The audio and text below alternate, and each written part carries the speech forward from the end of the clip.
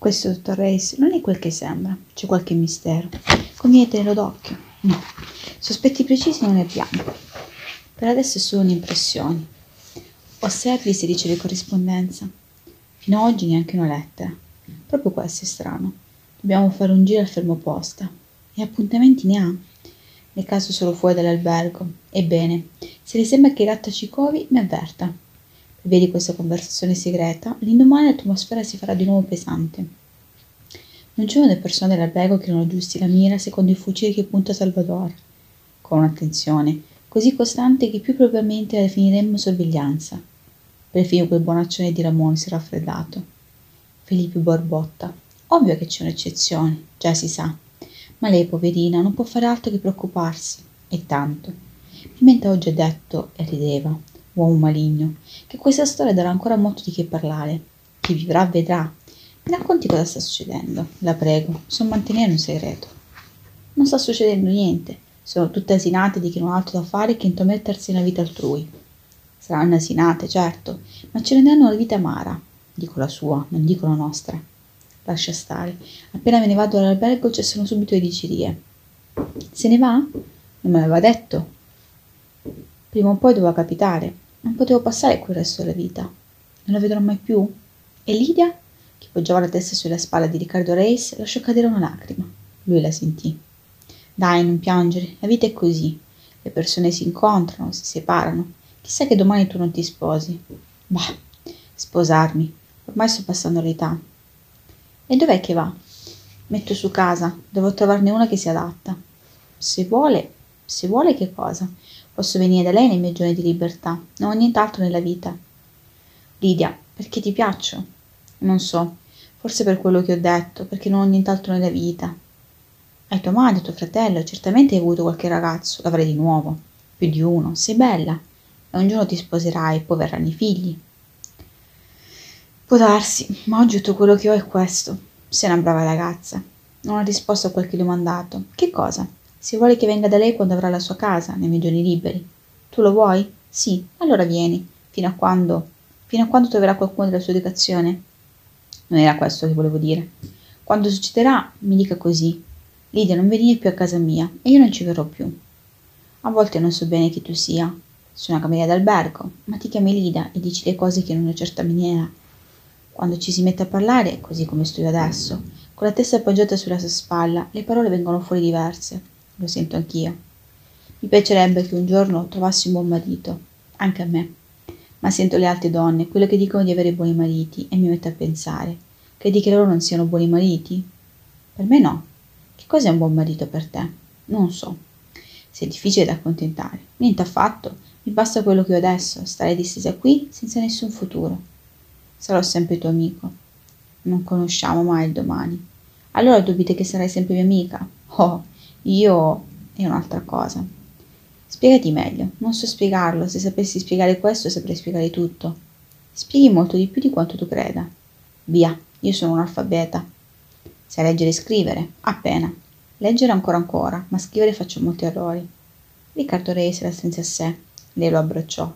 La conversazione li aveva avvicinati impercettibilmente a un'indefinibile commozione, quasi un dolore. Perciò fu fatto tanto delicatamente quel che fecero dopo. Sappiamo tutti cosa. Nei giorni seguenti Riccardo Reis si mise in cerca di casa. Usciva al mattino, rientrava a sera. Pranzava e cenava fuori dall'albergo, gli seguivano davanti a me come le pagine degli annunci del diario di Noticias, ma non andava lontano. I quartieri periferici non rientravano nei suoi gusti e interessi. Avrebbe detestato vivere, per esempio, dalle parti di Duos Doreos de Chionca, in Mores Soares, dove erano state inaugurate case popolari di 5 e 6 stanze. Affitto veramente basso, fra i 165 e i 242 scudi al mese. Ma lui non le avrebbero affittate, né lui le avrebbero volute così distante la Baixa e senza la vista sul fiume. Cercava di preferenza case ammobiliate e si capisce, un uomo solo, come si sarebbe regolato lui nell'acquisto di un arredamento, i mobili, la biancheria, le stoviglie, senza avere il consiglio di una donna. Certamente nessuno di noi si immaginerebbe Lidia che entra ed esce con il dottor Riccardo Rezzi a questi negozi, dando opinioni, poverina. E Marsenda, anche se ci fosse suo padre consentisse, che ne saprebbe lei della vita pratica? di casa si intende la sua, che sua in realtà non è, Il significato esatto è la parola mio, perché di me è da me fatto. E queste sono le due donne che Riccardo Reis conosce, nessun'altra. È stata un'esagerazione di Fernando Pessoa averlo chiamato Don Giovanni. Alla fine non è così facile lasciare l'albergo. La vita, qualunque vita, crea i suoi legami, diversi dall'una e dall'altra, stabilisce un'inerzia che le, le intrinseca, incomprensibile per chi dall'esterno osserva criticamente secondo leggi proprie, a loro volta inaccessibile alla comprensione dell'osservato. Insomma, accontentiamoci di quel poco che saremo capaci di capire della vita degli altri. Loro ci ringraziano e magari ci ricompensano. Salvador non appartiene a questi né a quelli. Lo nervosiscono le essenze prolungate dell'ospite. Così fuori dalle prime abitudini, avevo già pensato di andare a parlare con l'amico Victor. All'ultimo momento l'ho trattenuto un sottile timore. Vedersi coinvolto in storie che se finivano male potevano sporcare anche lui. O peggio. Raddoppiò l'attenzione riguardo Riccardo Reis, disorientando con questo atteggiamento il personale, che non sa più come deve comportarsi. Perdonateci questi particolari banali, non si può vivere di solo pane e nemmeno di companatico. Sono così le contraddizioni della vita. In questi giorni si è avuto notizia che stato arrestato Luis Carlos Prestes. Speriamo non venga la polizia a chiamare Riccardo Reis per domandargli se l'aveva conosciuto in Brasile o se era stato un suo paziente. In questi giorni la Germania ha denunciato il patto di Locarno e ha occupato la zona renana, tanto l'ha detto che l'ha fatto. In questi giorni è stata inaugurata a Santa Clara una fontanella fra entusiasmo delirante degli abitanti che fino non avevano un'altra possibilità che di fornirsi le bocchette d'incendio. Del resto è stata una bella festa. Due innocenti creature, maschietto e femminuccia, hanno riempito le brocche d'acqua fra tanti battimani, tante viva, nubi popolo, immortale. In questi giorni, giunto a Lisbona, un celebre rumeno di nome Manuelesco, che ha detto all'arrivo, la nuova idea, che si sta diffondendo attualmente in Portogallo, mi ha fatto attraversare le sue frontiere, con il rispetto di un discepolo e la profonda gioia di un credente. In questi giorni Churchill ha pronunciato un discorso per proclamare che la Germania è oggi l'unica nazione europea che non teme la guerra.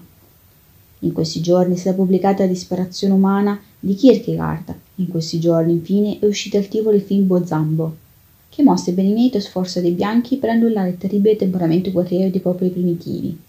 In questi giorni Riccardo Reis altro non ha fatto che cercare, giorno dopo giorno ormai demoralizzato, sfoglia scoraggiato i giornali, che tutti gli dicono tranne quello che vorrebbe. Gli dicono che è morto Venizelos, dicono che Hortense di Bencourt ha affermato che l'internazionalista non può essere militare e neanche può essere portoghese. Gli dicono che ha piovuto ieri, gli dicono che l'onda rossa sta crescendo in Spagna, gli dicono che per 7 scudi e 50 centesimi può comprare le lettere della monaca portoghese. Non gli dicono dove sta la casa di cui ha bisogno. Nonostante le buone manie di Salvador, gli è venuta irrespirabile l'atmosfera dell'Hotel Braganza. Tanto più che andandosene non perderà Lidia, gliel'ha promesso, garantendogli così la soddisfazione delle ben note necessità. Di Fernando Pessoa si è ricordato poco, come se la sua immagine andasse svanendo. Con il ricordo che ha di lui, o meglio, è come una fotografia esposta alla luce che a poco a poco ne smetisce i contorni o una corona mortuale con i suoi fiori di stoffa, ogni volta più scoloriti, lo ha detto lui. Nove mesi, resta da sapere se arriveranno a essere tanti. Fernando Pessoa non si è fatto più vedere. Sarà stato il suo capriccio, malumore, dispetto sentimentale, o perché morto non può sfuggire i doveri del suo stato. È un'ipotesi. In fondo non sappiamo nulla della vita dell'aldilà. E a Riccardo Reis, che avrebbe ben potuto domandargliene, non è venuto in mente. Noi, vivi, siamo egoisti e duri di cuore. I giorni stanno passando, monotoni, grigi. Ora sono annunciati nuovi temporali nel Batteio. Piene mortali, bestemmie trascinate dalla corrente, case che crollano e tornano al fango da cui sono state create. Dei campi di grano, neanche una traccia. Sull'immenso lago che copre i terreni prossimi ai fiumi spuntano appena le chiome tondeggianti dei salici piangenti. Le punte scambigliate dei frassini dei pioppi. Sui rami alti si impigliano le balle di fieno trascinate via. Gli sterpi, e quando le acque si abbasseranno, chiunque potrà dire, l'alluvione è arrivata fin lì. E sembrerà impossibile. Riccardo Reis non è vittima né testimone di questi disastri. Legge le notizie, guarda le fotografie, immagini della tragedia è il titolo, e a stento riesce a credere alla paziente crudeltà del cielo, che con tanti modi di portarci via da questo mondo gode tanto scegliendo il ferro e il fuoco, e tutta quest'acqua. Lo vediamo qui comodamente seduto su un divano del salotto, con la stufa accesa, fra i conforti di questo albergo, E se non possedessimo il dono di leggere nei cuori, non sapremmo che dolorosi pensieri lo occupano. La miseria è prossimo, davvero prossimo, a 50-80 km di distanza. Io qui, a meditare sul cielo crudele e su indifferenza degli dei, che è tutta una sola e ugualissima cosa, mentre ascolto Salvador ordinare a Pimenta che vada al chiosco a prendere i giornali spagnoli, mentre riconosco i passi ormai inconfondibili di Lidia, che sale le scale del secondo piano, e poi mi sono distratto. Passo oltre le pagine degli annunci, mia costante ossessione. Casa in affitta.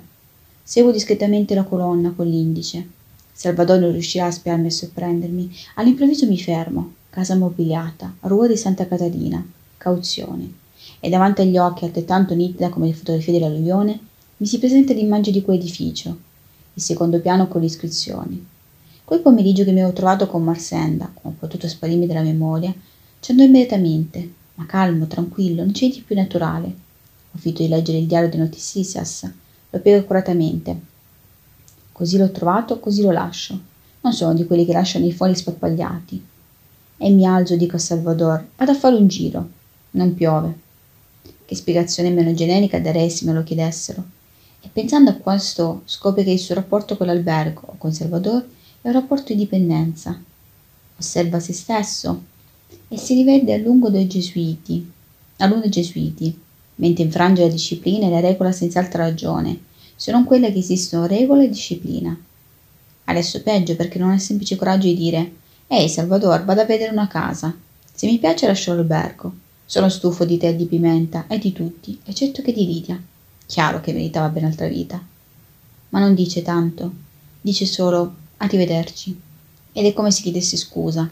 La codardia non si manifesta solo sul campo di battaglia o alla vista di un rasoio aperto e puntato contro le tremule viscere. C'è gente che ha un coraggio gelatinoso, non ne hanno colpa, sono nati così. In pochi minuti Riccardo Reis si era raggiunto l'alto di Santa Catarina.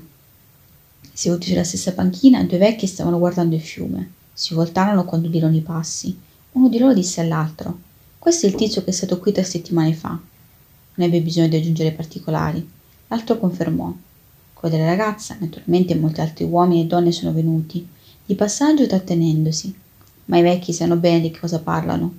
E non errore pensare che con la vecchiaia si perde la memoria, che solo la memoria antica si è mantenuta e a poco a poco affiora come occulte fronde, quanto le acque in piena si vanno abbassando c'è una memoria terribile nella vecchiaia, quella degli ultimi giorni, l'immagine finale del mondo, l'ultimo istante della vita. Era così quando l'ho lasciata, non so se rimarrà così, dicono i vecchi quando arrivano dalla parte di là. Lo diranno anche questi. Ma l'immagine di oggi non è l'ultima. Sulla parte della casa che era in affitto c'è un cartello che informava per visite rivolgersi all'amministratore. L'indirizzo è nella Baixa. Tempo ce n'era. Riccardo Reis corse a calare Diz. Prese un taxi. Tornò accompagnato da un uomo grasso. Sì, signore, io sono amministratore, che aveva la chiave. Salirono, questa è la casa, grande e spaziosa, per una famiglia numerosa, con il mobilio di mogano scuro, letto grande, guardaroba alto, una sala da pranzo completa, il buffet, la credenza per riporre l'argenteria, o i pet a seconda disponibilità, il tavolo allungabile e lo studio. Il ritorto legno d'acero il ripiano della scrivania ricoperto di panno verde, come un tavolo da biliardo, liso a uno degli angoli, la cucina e il bagno rudimentale ma accettabile. Però tutti i mobili sono nudi e vuoti. Non una stoviglia, non un lenzuolo né un asciugamano. La persona che viveva qui è una signora anziana, vedova. È andata ad abitare con i figli, si è portata via le sue cose. La casa è affittata con i soli mobili. Riccardo Re si avvicina alla finestra attraverso il vetro senza tende vide i palmizi della piazza, la Damastor. I vecchi seduti sulla panchina e il fiume sporco di fango un po' più in là. Le navi da guerra con la proa rivolta verso terra. Guardando loro non si capisce se la marea sta salendo o calando. Trattenendoci un po' lo vedremo presto. Quant'è l'affitto? Quant'è la cauzione per la mobilia? In mezz'ora al massimo. Con qualche discreta adattativa si misero d'accordo. L'amministratore Aveva subito visto che stava trattando con persona degna e con una buona posizione. Domani le passa nel mio studio e firmiamo il contratto. E guardi, dottore, le lascio la chiave. La casa è sua. Riccardo Rei si ringraziò. Vuole a ogni costo pagare un acconto superiore al valore stabilito in queste transazioni. L'amministratore gli fece lì per lì una ricevuta provvisoria. Si sedette alla scrivania, estrasse la penna stilografica rivestita con intarsi d'oro, foglie e rabeschi stilizzati. Nel silenzio della casa si udiva solo il pennino che raspava sulla carta. La respirazione un po' sibilante, asmatica dell'uomo. Fatto, ecco qui. Non c'è bisogno che il signore si disturbi. Io prendo un taxi. Credo che voglia restare ancora un pochettino ad assaporare la sua nuova casa. Capisco, le persone amano molto la casa. La signora che abitava qui, poverina, come pianta il giorno in cui se n'è andata. Nessuno la poteva consolare. Ma la vita alle volte obbliga. La malattia, la vedovanza, quello che deve essere, deve essere. E non c'è niente da fare. Allora l'aspetto domani. Adesso solo con la chiave in mano, Riccardo Reis percorse di nuovo tutta la casa. Non pensava, guardava solamente, poi andò alla finestra. La proa delle navi era rivolta verso monte, segno che la marea calava. I vecchi erano ancora seduti sulla stessa panchina. Quella sera Riccardo Reis disse a Lidia che aveva affittato una casa. Lei pianse qualche lacrima per il dispiacere di non poterla avere, da allora in poi, davanti agli occhi a tutte le ore. Esagerazione sua, sua passione, che a tutti non le poteva vedere, quelle notturne, sempre a luce spente per via degli spioni, le alte le ore mattutine e pomeridiane, rifuggendolo, o fingendo eccessivo rispetto alla presenza dei testimoni, offrendo così uno spettacolo alla malizia, per il momento in attesa l'occasione di prendersi una completa divincita. Lui la consolò. Smettila. Ci vedremo nei tuoi giorni di libertà, con un'alta calma, sempre se lo vuoi. Parole queste che conosceva in anticipo la risposta. Ma come? Non dovrei volerlo, gliel'ho già detto. E quando è che si trasferisce a casa sua? Non appena sarà a posto. Mobili li ho, ma manca tutto. E anche lì stoviglie, non ho bisogno di molto. Il minimo per cominciare. Qualche asciugamano, lenzuola, coperte. Poi a poco a poco ci metterò il resto. Se la casa è stata chiusa avrà certo bisogno di essere pulita. Ci vado io. Che idea. Troverò qualcuno lì del quartiere. Non lo permetto. Lei a me. Non ha bisogno di chiamare altri. Sei una brava ragazza. Insomma, sono come sono. Questa è una di quelle frasi che non ammetto replica. Ciascuno di noi dovrebbe sapere molto bene chi è. Perlomeno non ci sono mancati i consigli fino al tempo dei greci e dei latini. Conosci te stesso. Ammiriamo questa Lidia che non sembra avere dubbi. Il giorno dopo Riccardo Reis andò per negozi. Comprò due cambi completi di biancheria da letto, asciugamani per il viso, da piedi e da bagno. Per fortuna non si doveva preoccupare dell'acqua, del gas e della luce. Non erano state tagliate le rispettive compagnie. Se non vuole fare i contratti nuovi, restano a nome dell'inquilino precedente. Questo gli aveva detto l'amministratore. E lui fu d'accordo. Comprò anche alcune pentole di smalto e alluminio, bollitore del latte, caffettiera, tazze e piattini, di tovaglioli, caffè, tè e zucchero, il necessario per la colazione del mattino, che pranzo e cena avrebbe consumati fuori. Si divertiva in queste faccende. Memore dei suoi primi tempi a Rio de Janeiro, quando senza detto di nessuno, aveva compiuto gli stessi lavori di istallazione domestica. In intervallo di questo vai e vieni, scrisse una breve lettera a Marsenda. Le dava il nuovo indirizzo, e straordinaria coincidenza molto vicino, proprio lì, al posto dove si erano incontrati. È così vasto il mondo. Gli uomini, come gli animali, hanno il loro terreno di caccia, il loro cortile o pollaio, la loro ragnatela. E quest'ultimo paragone è fra i migliori. Il ragno ha lanciato un filo anche a Porto, un altro fino a Rio, ma sono stati semplici punti d'appoggio, riferimenti, pilastri, banchine d'ormeggio. È nel centro della tela che si giocano la vita e il destino, del ragno e delle mosche. Verso la fine del pomeriggio Riccardo Reis prese un taxi. Passò da un negozio all'altro a ritirare le cose acquistate. All'ultimo momento vi aggiunse qualche pasticcino, frutta candita, biscotti di vario tipo. Portò tutto il Rio di Santa Caterina, arrivò all'orario in cui i due vecchi rientravano a casa, laggiù nel cuore del quartiere, mentre Riccardo Reis caricava i pacchi e li portava su. In tre viaggi non si mossero, vide accendersi le luci al secondo piano. Guarda, vive nella casa di Donna Luisa, si allontanarono solo quando il nuovo inquilino comparve a una finestra, dietro i vetri. Erano nervosi, eccitati, a volte capita. E meno male, si spezza la monotonia dell'esistenza. Sembrava che fossimo giunti alla fine della strada. Invece era solo una curva che si affacciava su un altro paesaggio su nuove curiosità. Dalla sua finestra senza tende, Riccardo Ressi guardava il fiume largo. Per poter vedere meglio spense la luce della stanza dove si trovava. Scendeva dal cielo un polvisco di luce grigia che si spegneva nel posarsi sulle acque scure scivolavano i traghetti già coi fanali accesi. posteggiando le navi da guerra, le chiatte ormeggiate e quasi nascondendosi dietro la sagoma dei tetti. Un'ultima fregata diretta alla darsena, come un disegno di, bambi- di bambino, un pomeriggio tanto triste che dal fondo dell'anima sale su una voglia di piangere. Proprio qui, con la fronte appoggiata al vetro, separato dal mondo dal vapore della respirazione condensato sulla superficie liscia e fredda, vedendo a poco a poco svanire la figura contorta di Amadamastor, mentre perde significato la sua furia contro la figurina verde che lo sfida. Da qui, invisibile e priva di significato contro lui. Era calata la sera, quando Riccardo Reis uscì. Cenò in Rua de Cosareiros, un ristorante a mezzanino, col soffitto basso, solo fra uomini che erano soli. Chi potevano essere? Che vite potevano avere? Per qualche motivo attraversati da questo luogo, attratti da questo luogo, masticando il baccalà o il fritto misto, la bistecca con patate, quasi tutte accompagnandosi con vino rosso, più composti d'aspetto che di modi, battendo sul bicchiere per chiamare il cameriere, stuzzicandosi con forza e velorità dente dopo dente, o tirando via quella pinza formata al pollice e dall'indice il filamento, la fibra resistente, qualcuno ruttando, qualcuno allargandosi la cintura, sbottonandosi il panciotto, allentando le bretelle. Riccardo Reis pensò, adesso tutti i miei passi saranno così, questo rumore di posate, queste voci di camerieri che urlano nel retro, una minestra o mezze di seppie, manie rapide di ordinare mezza porzione, le voci sono attutite, l'atmosfera lugubre. Nel petto freddo il grasso si rapprende.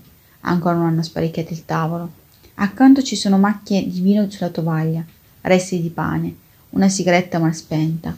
Ah, com'è diversa la vita lotta per cansa, anche se non è di prima classe. Riccardo Re sente una violenta nostalgia di Ramon, che tuttavia rivedrà il giorno dopo. Oggi è giovedì, andrà via solo sabato. Sa bene però Riccardo Reis quanto valgono di solito nostalgie del genere. Tutto dipende dalle abitudini l'abitudine che si perde, l'abitudine che si prende. E da così poco tempo a Lisbona, meno di tre mesi, e già Rio de Janeiro gli sembra un ricordo di un passato remoto, forse di un'altra vita, non la sua, un'altra fra le innumerevoli. Così pensando, suppone che questa stessa ora Riccardo Re stia cenando anche a Porto, o pranzando a Rio de Janeiro, se non in qualsiasi altro luogo della terra, se la dispersione è andata così lontano. Per tutto il giorno non aveva piovuto, ha potuto fare le sue spese in totale tranquillità e tranquillamente ora sta tornando in albergo. Quando arriverà, dirà a Salvatore che va via sabato. Niente di più semplice. Me ne vado sabato. Ma si sente come un adolescente che, poiché il padre si è rifiutato di dargli le chiavi di casa, osa prendersela da solo, confidando nella forza che hanno sempre i fatti compiuti. Salvatore è ancora dietro al banco, ma ha già detto a Pimenta che appena uscito l'ultimo ospite dalla sala da pranzo, se ne andrà a casa, un po' prima del solito. Sua moglie è raffreddata è il frutto di stagione, aveva detto Pimenta, familiarmente. Si conosco da tanti anni e Salvador ha brontolato. Sono io che non mi posso ammalare. Dichiarazione sibilina di significato vario, che può essere sia la lamentela di chi ha una salute di ferro, sia un avvertimento delle potenze malefiche di quanto mancherebbe all'albergo il suo direttore.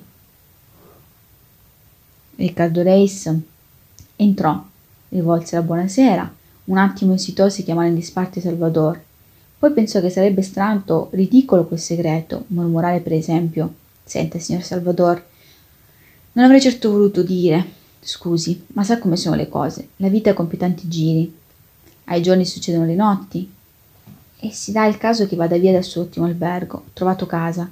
Spero solo che non se la prenda male. Restiamo amici come prima. E all'improvviso si ritrovò a sudare per l'agitazione, come se fosse ritornata alla sua adolescenza di scolaro di gesuiti inginocchiato davanti alla porticina del confessionale. Ho mentito. Sono stato invidioso, ho avuto pensieri impuri, mi sono toccato. Adesso si avvicina al banco. Salvatore ha ricambiato la buonasera. Si volta indietro per prendere la chiave del gancio. Allora Riccardo si precipita. Dove proferire le parole liberatrici prima che lui lo guardi? Prenderlo alla sprovvista, in contropiede, poi lo sgambetto. Signor Salvador, per favore mi prepari il conto. Rimango in albergo solo fino a sabato. E dopo averlo detto, con questa secchezza subito si pentì, perché Salvador era vera immagine da sorpresa addolorata, vittima di un colpo basso, lì con la chiave in mano. Non si tratta così di un direttore che si è dimostrato un, buon così, un così buon amico.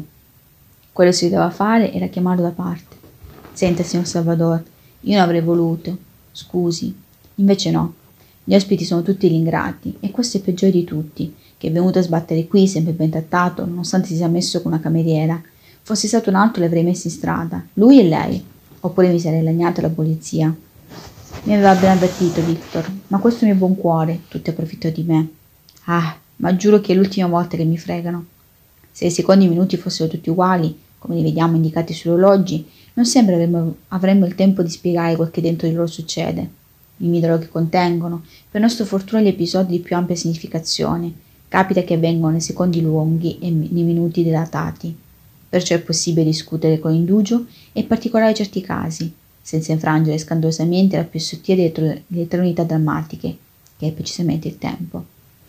Non sia perché il nostro servizio l'ha scontentato in qualcosa, e queste modeste e professionali parole comportano il pericolo di suscitare un equivoco, e l'acre ironia che facilmente vi potremmo trovare, se pensassimo a Lidia. Però no, in questo momento Salvador vuole solo esprimere delusione e dispiacere. Niente affatto, signor Salvador, protestò con veemenza Riccardo Reis. Al contrario. Ma è che ho trovato casa. Ho deciso di rimanere definitivamente a Lisbona. Uno ha bisogno di un proprio angolo per vivere. Ah, ha trovato casa? Allora se vuole le presto pimenta per aiutare a trasportare le sue valigie. Se è a Lisbona, ovviamente. Sì, a Lisbona. Ma me ne occuperò io, grazie. Un qualsiasi facchino le può portare. Pimenta ci ha autorizzato dall'alto in virtù delle preziose offerte sui servizi. servizi. Curioso per conto suo, immaginando che quello stai Salvador, dove sarà che vada ad abitare? Si permise la confidenza di insistere. Ma perché, dottore, si deve mettere a pagare un facchino? Le porto io le valigie. No, Pimenta, grazie molte. E per prevenire altre insistenze. Riccardo Reis fece anticipatamente il suo piccolo discorso di congedo. Voglio dirle, signor Salvador, che conservo il miglior ricordo del suo albergo, dove sempre sono stato trattato molto bene, dove sempre mi sono sentito come a casa mia, circondato di cure e attenzioni ineccepibili. E ringrazio tutto il personale, senza eccezione, per l'affettuosa atmosfera di come avete circondato in questo mio rientro in patria, da cui non penso di andar via più a tutti grazie infinite. Non erano tutti lì, ma tanto era uguale. Un discorso come questo Riccardo Reis non avrebbe rifatto. Si era sentito così ridicolo mentre parlava. E peggio che ridicolo, dato che aveva usato involontariamente parole che potevano aver anche risvegliato pensieri sarcastici tra i suoi ascoltatori, era impossibile che non avessero pensato a Lidia, quando lui stesso parlava di cure, affetti e attenzioni. Chissà perché le parole si servono tante volte di noi, le vediamo avvicinarsi, minacciare e non siamo capaci di allontanarli, di tacerle, e così finiamo col dire quel che non avremmo voluto. È come l'abisso irresistibile. Cadremo e andiamo avanti. Con poche parole Salvatore cambiò, ma non ce ne sarebbe stato bisogno. Mi sarebbe bastato ringraziare a sua volta per l'onore di aver avuto il dottor Riccardo Reis come ospite. Non abbiamo fatto altro che il nostro dovere. Io e tutto il personale avremo nostalgia di lei. Dottore, non è vero, Pimenta? questa stupida domanda si risolse la solennità del momento. Sembrava che si recitasse la manifestazione di un sentimento unanime. Ed era proprio il contrario. Una strizzatina d'occhi in fondo maliziosa. Non so se mi capisci. Riccardo Reis capì, disse buonanotte e salì in camera, immaginando che rimanessero a parlargli alle spalle, a dir male di lui, e subito pronunciando il nome di Lidia, che altro ancora, cioè che non pensava che dicessero questo, Sta attento, dopodomani, a chi è il facchino, voglio sapere dove si trasferisce. L'orologio delle ore talmente vuote che anche se brevi, come di tutte si soliti dire, tranne quelle alle quali erano destinati gli episodi di ampia significazione, come si è dimostrato prima, sono talmente vuote quelle ore che le lancette sembra si trascinano all'infinito. Non passa la mattina, non se ne va il pomeriggio, la sera non finisce. Fu così che Riccardo Reis visse le sue ultime ore nell'albergo, Volle per scrupolo inconsapevole che lo vedessero tutto il tempo lì, forse per non sembrare ingrato e indifferente. In un certo modo glielo riconobbero, quando Ramon disse, mentre gli versava la minestra nel piatto, allora dottore se ne va. Parole che furono di gran tristezza, come solo sanno dire umili servitori. Salvatore fece spreco del nome di Lidia, la chiamava per tutto e per niente, le dava ordini e subito dopo contrordini, e ogni volta le scrutava con attenzione i atteggiamenti, il viso, gli occhi, in attesa di trovare segni di dispiacere, tracce di lacrime, cosa naturale in una donna che sta per essere abbandonata, e già lo sa. Invece non si erano mai viste pace e serenità come queste. Sembra una creatura cui non pesi nessuna coscienza, debolezza della carne, calcolata vendita. e Salvador si irrita per non aver punito l'immoralità, fin dal nascere del sospetto o quando è divenuta fatto pubblico e notorio, cominciando con i mormori di cucina e di guardiola. Adesso è tardi. L'ospite se ne va.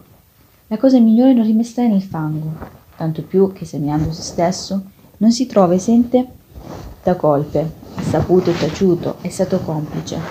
E che mi ha fatto pena, veniva dal Brasile, dal Sertao, senza una famiglia che lo aspettasse.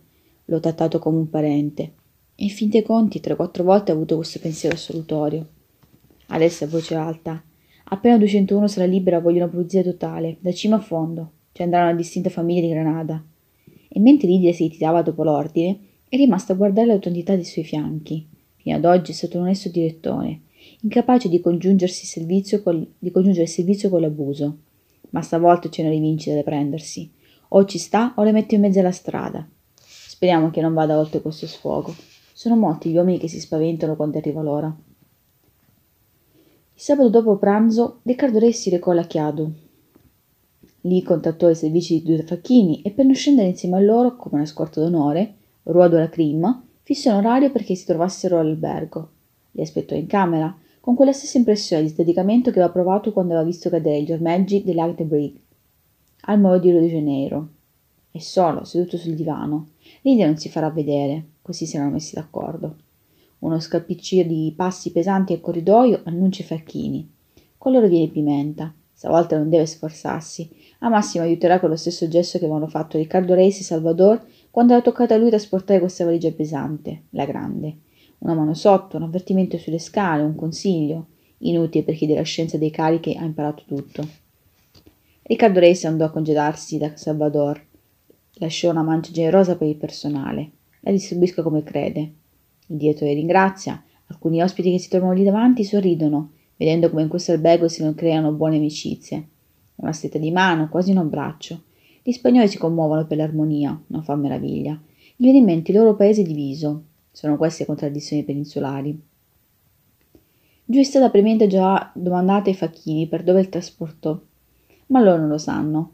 Il padrone l'ha detto, uno di loro ha supposto che fosse vicino, l'altro ne ha dubitato. Ma tant'è, Pimenta conosce due uomini, uno di loro ha già prestato servizio per l'albergo. Il punto di riferimento è all'Occhiado. Quando vorrà chiarire questo caso non dovrà andare lontano. Riccardo Lei si dice, qui c'è un ricordino per lei.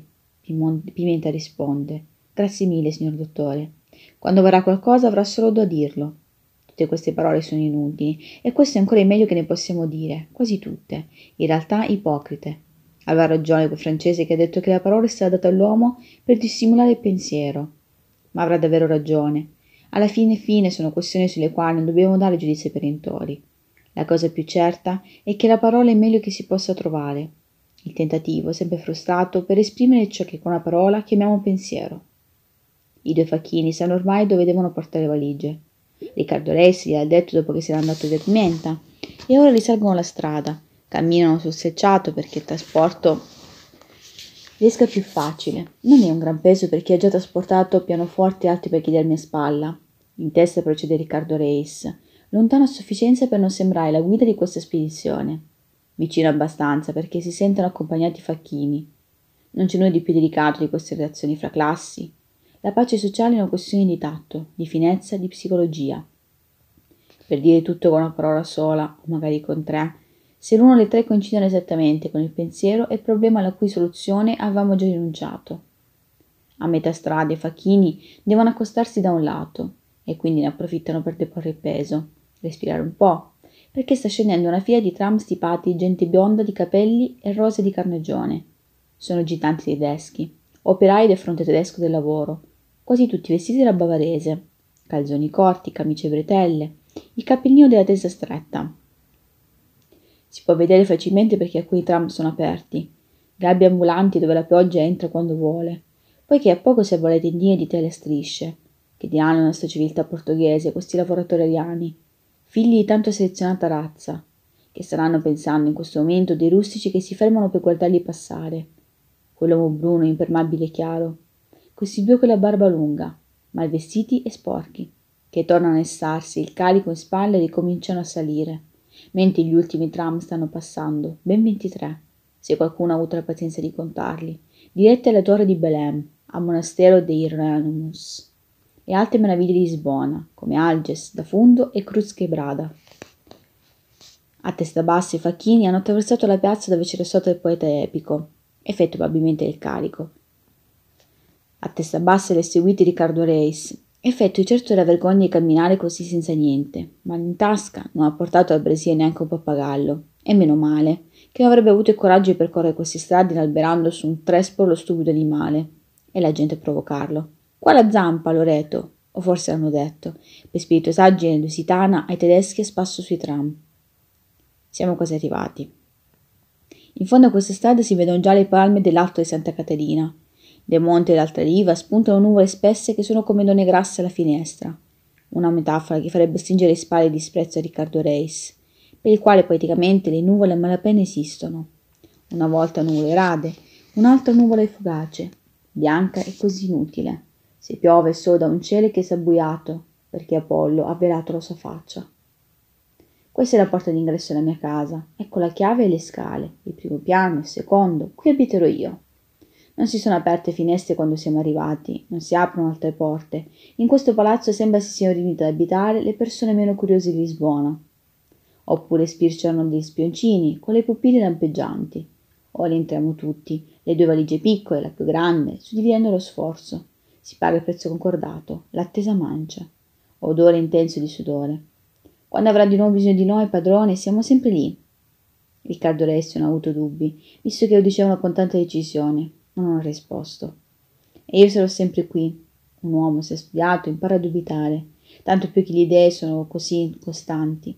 Certi soltanto, loro per scienza, noi per esperienza, che tutto finisce e sempre prima di tutto il resto. I facchini se ne erano andati. Riccardo Resi chiuse la porta del piano, poi senza accendere la luce percorse tutta la casa. I suoi passi sul pavimento nudo echeggiavano sonori fra i mobili sparsi, vuoti, che odoravano di naftalina vecchia, di antica carta velina che ancora fodera alcuni cassetti, di laniccio che si accumula negli angoli, e con maggiore intensità delle parti della cucina e del bagno, di esalazioni di tubi di scarico, calato il livello dell'acqua nei sifoni.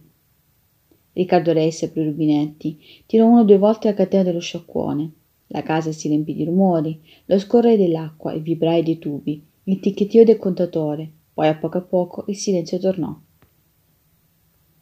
Nel retro edificio ci sono dei cortiletti con biancheria stesa, piccole aiuole di ortaggi color cenere, scodelle, vasche di cemento, la cuccia di un cane, conigliere e pollai.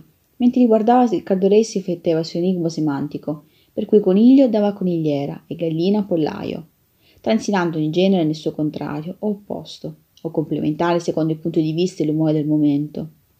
Tornò nella parte interiore della casa, in camera da letto, guardò dalla finestra sporca la strada deserta, il cielo ora coperto, eccolo là, livido contro il colore plumbeo delle nuvole. Adamo Storchi urlava in silenzio. Alcune persone guardavano le navi, di tanto in tanto alzavano la testa per vedere se la pioggia si avvicinava. I due vecchi chiacchieravano seduti sulla stessa panchina. Allora Riccardo Re sorrise. Ben fatto.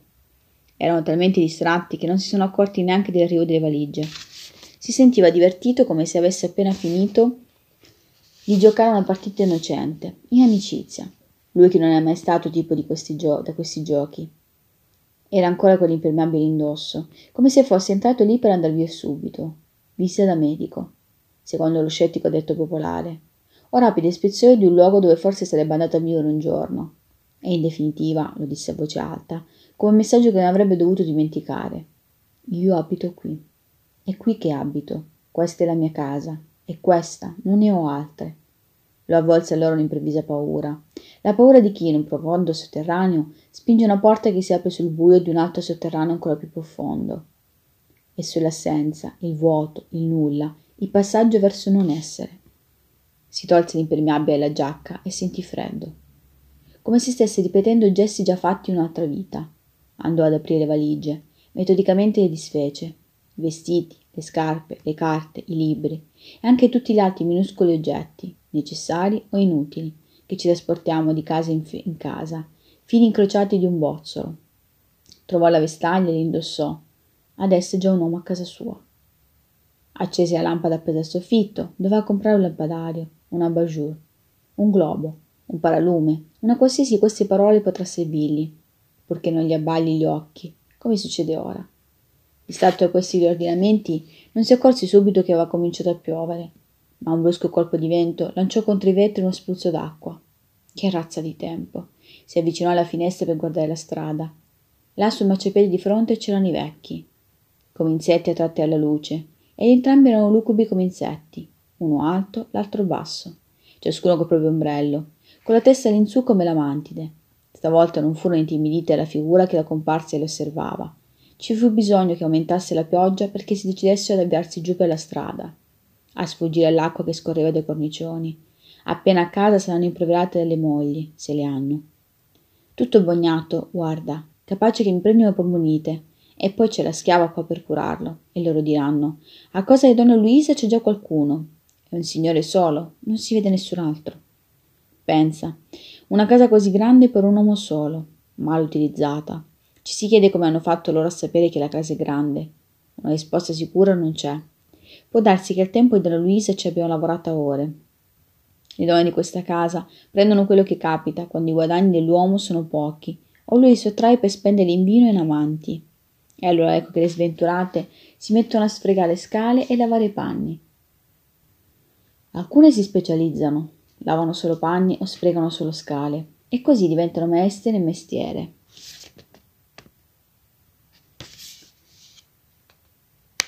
Hanno regole, giocano nel bianco delle lenzuola e nel giardino dei gradini.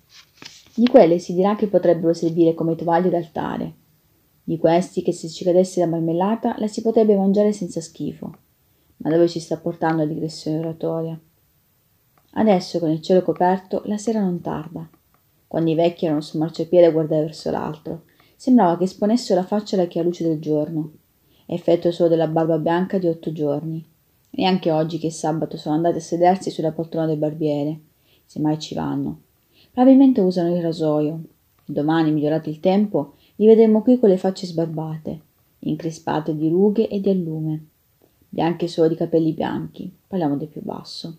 Quello alto non ha più di qualche sconsolato pelo sopra le orecchie. Insomma, tornando al punto di partenza, quando erano lì sul marciapiede era ancora giorno, sebbene di lì per andarsene, quindi, dopo aver osservato con una certa calma l'inquilino del secondo piano, dato che cominciava a piovere più forte, si erano avviati giù per la strada. Avevano continuato a camminare e il giorno a farsi scuro. Giunti a quell'angolo era già buio pesto. Fortuna che siano accesi i lampioni e i vetri siano ricoperti di perle.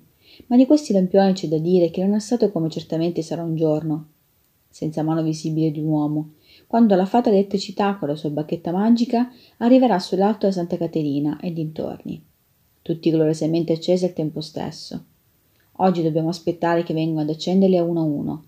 Con la punta del bastone infuocato l'uomo apre la porticina della lucerna. Con il gancio gira il rubinetto del gas. Infine questo fuoco di Sant'Elmo lascia per le strade delle città segnali che è passato. Un uomo porta con sé la luce e la cometa di Halley con la sua scia siderale. Così gli dei avranno visto Prometeo, osservandolo da lassù. Però si chiama Antonio questa luccera. Riccardo Reis la fronte gelata, l'ha appoggiata al vetro e se n'è dimenticato, guardando la pioggia cadere, poi udendone solo il rumore, fino a che non è venuto il lampionaio, e allora ogni lampione aveva avuto il suo folgore e la sua aura. Sulle spalle di Adamastor cade una luce ormai smorta, il dorso erculeo brilla. Quando sarà per l'acqua che viene dal cielo? Sarà un sudore di agonia perché la dolce tete è sorriso di scherno e maledizione. Quale sarà l'amore di ninfa sufficiente per sostenere quello di un gigante. Adesso ormai lo sa quando valeva l'abbondanza promessa. Lisbona è un gran silenzio che rumoreggia, niente più. Riccardo Reis è tornato alle sue faccende domestiche. Ha sistemato i vestiti, le camicie, i fazzoletti, le calze, pezzo per pezzo. Come se stesse mettendo a posto uno dei saffica lottando laboriosamente con la metrica diluttante. Questo colore di cravatta, che appesa, richiede il colore di un abito da comprare sul materasso che è stato di donna Luisa e che aveva lasciato, di certo non quello su cui è stata dietro, aveva perduto la verginità, ma su cui deve aver sanguinato per l'ultimo figlio, dove è agonizzato ed è morto il caro sposo, un giudice di corte d'appello. Su questo materasso Riccardo Reis ha disteso le sue lenzuola nuove, ancora odorose di nuovo, le due coperte felpate, il copriletto chiaro, ha infilato alle fede il guanciale e il cuscino di lana. Fa del suo meglio con la sua maschile mancanza di grazia. Uno di questi giorni verrà Lidia, forse domani, a ricomporre con le sue mani magiche, perché di donna questo disordine, questa tristezza rassegnata e le cose ammesse. Riccardo Reis porta le valigie in cucina, appende nella gelida stanza da bagno gli asciugamani.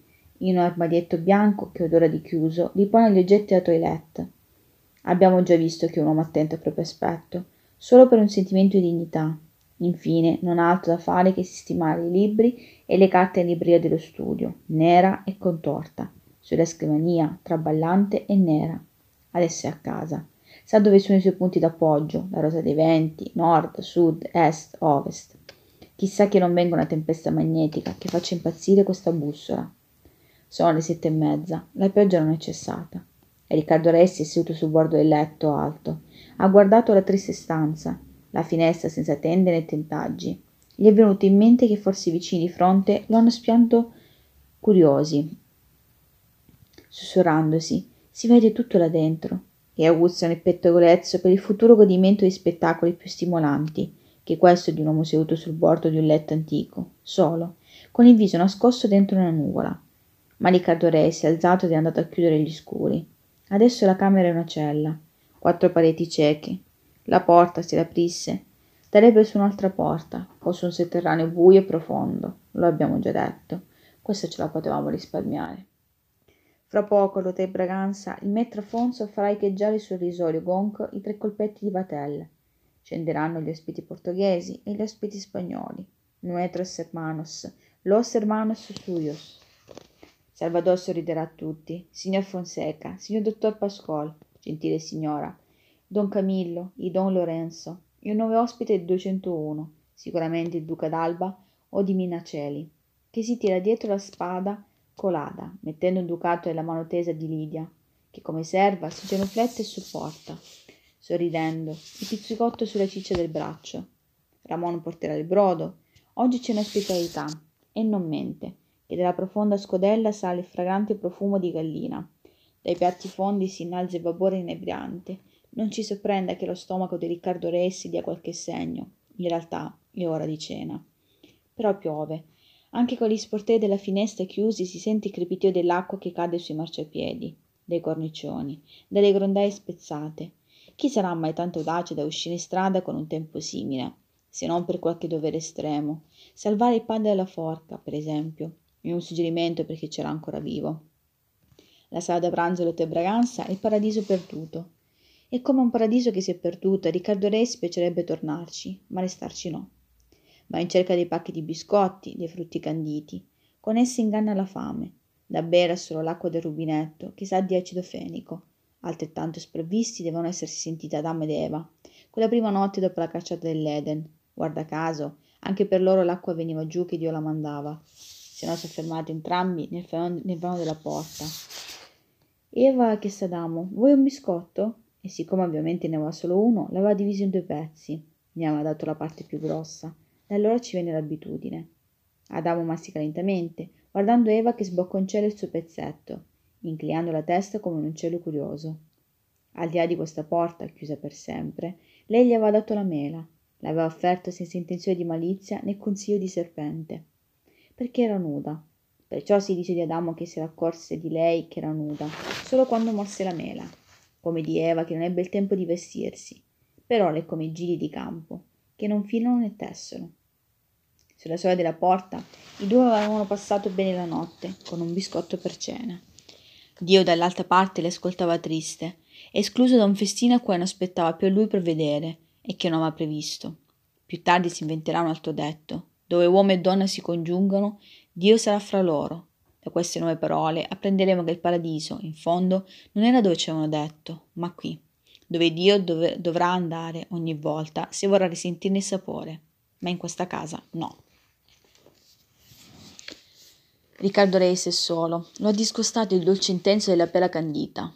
Pera, non mela.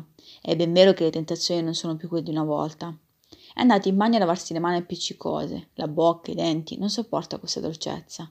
Una parola che non è portoghese né spagnola, imita solo l'italiano, ma è l'unica che propriamente parlando gli si adatta bene in questo momento. La solitudine gli pesa come la notte. La notte lo impiglia come vischio, per lo stretto e lungo corridoio, sotto la luce verdastra che scende dal soffitto, e un animale marino appesantito ai movimenti, una tartaruga indifesa, senza guscio. Va a sedersi alla scrivania, fruga fra le sue carte coi versi, odi le ha definite, e tali sono rimaste, perché tutto deve avere un nome, legge qui e là. E a se stesso domanda se è lui quello che li ha scritti, perché leggendo non si riconosce in ciò che è scritto. Era diverso questo disinteressato, calmo e rassegnato uomo. Per questo proprio quasi Dio, perché è così che sono gli dei, rassegnati, calmi, disinteressati, ad assistere i morti. In modo confuso pensa che deve organizzare la propria vita, il tempo, decidere che uso farà di mattino, pomeriggio e sera, colicarsi presto e presto alzarsi, cercare uno o due dei ristoranti che servono cibo sano e semplice, rivedere e correggere le poesie per il libro di un giorno futuro, cercare un appartamento per lo studio, conoscere gente, viaggiare per il paese, andare a Porto, Coimbra, far visita al dottor Sampaio, incontrare per caso Marsenda nel Pio Peto. A questo punto ha smesso di pensare a progetti e intenzioni. Gli ha fatto pena l'invalida. Poi la pena si è trasferita su se stesso. Era pietà di se stesso.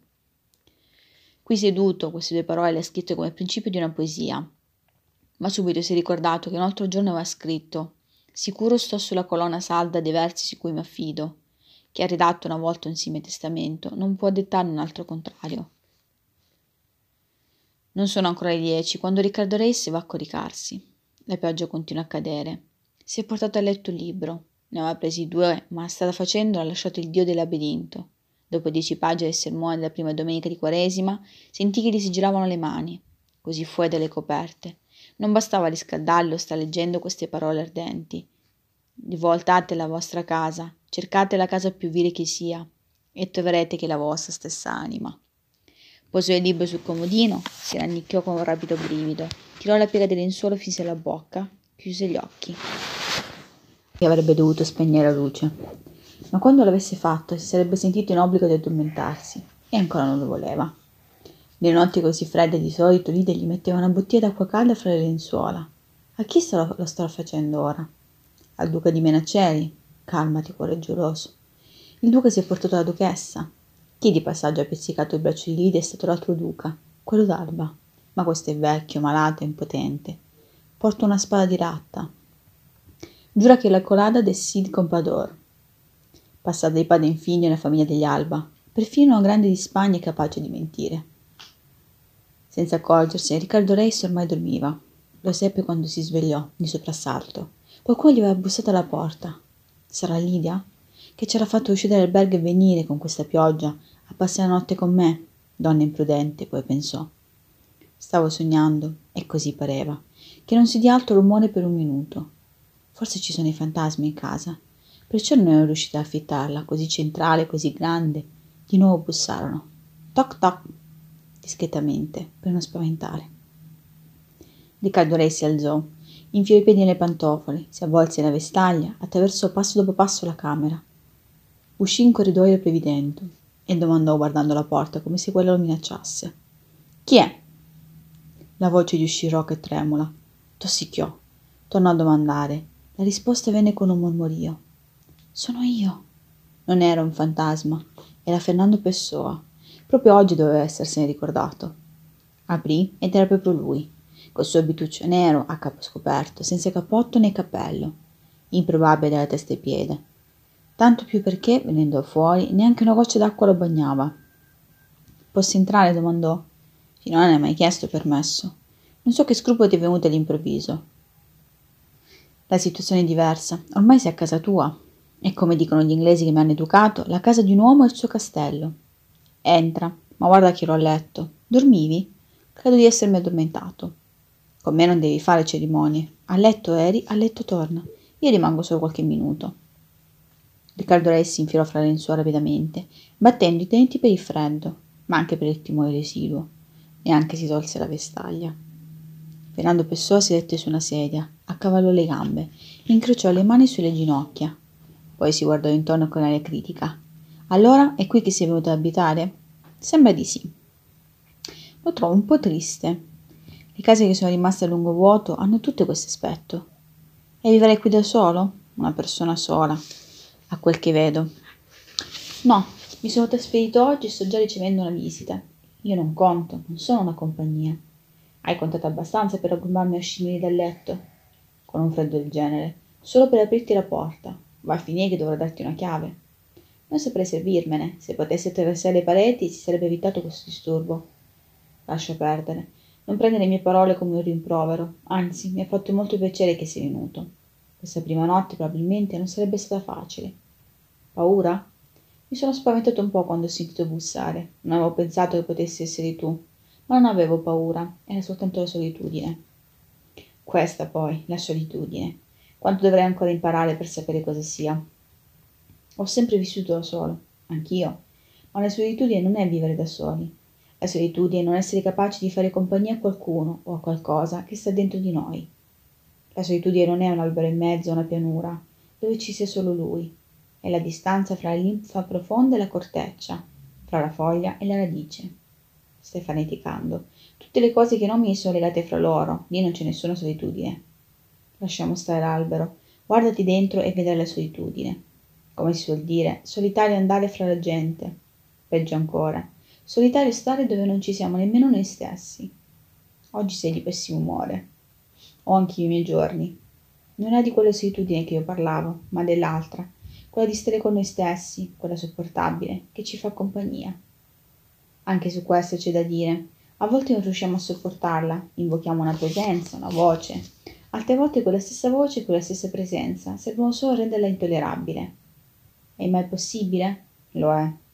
L'altro giorno, quando ci siamo incontrati al belvedere, ti ricordi? Eri in attesa di quella tua innamorata. Ti ho già detto che non è la mia innamorata. Va bene, non ti arrabbiare ma potrebbe anche diventarlo. Come puoi sapere cosa ti riserva il domani? Ho perfino l'età per poter essere tuo padre. E allora cambia argomento, racconta il resto della tua storia. E a proposito del fatto che avevo avuto l'influenza, mi sono ricordato un piccolo episodio della mia malattia, quest'ultima finale ed estrema. Ma quanti pleonasmi, il tuo stile è peggiorato molto, anche la morte è pleonastica. È proprio la più pleonastica di tutte le cose.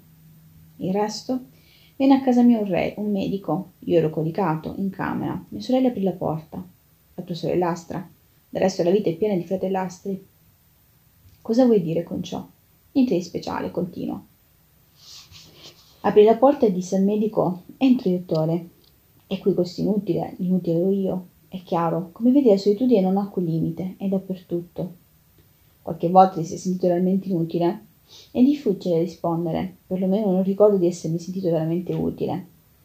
Credo anzi che sia questa la prima solitudine, il non sentirci utili. Anche se gli altri pensano o noi li portiamo a pensare il contrario, gli altri si ingannano molte volte, anche noi. Fernando Pessoa si alzò, socchiuse gli scudi alla finestra, guardò fuori. Imperdonabile dimenticanza, disse, non aver messo ad Amastore il mio messaggero. Un gigante tanto facile, di tanta che la lezione simbolica. Lo vedi da lì? Lo vedo, povera creatura. Se n'è servito Camores per i gemiti d'amore che probabilmente gli stavano nell'anima e per profezie, men che ovvie. Annunciare naufragi a chi va per mare. Per questo non sono necessarie doti divinatori particolari. Profetizzare sventure è sempre stato segno di solitudine. Se Teti avesse corrisposto all'amore del gigante, ben alto sarebbe stato il suo discorso.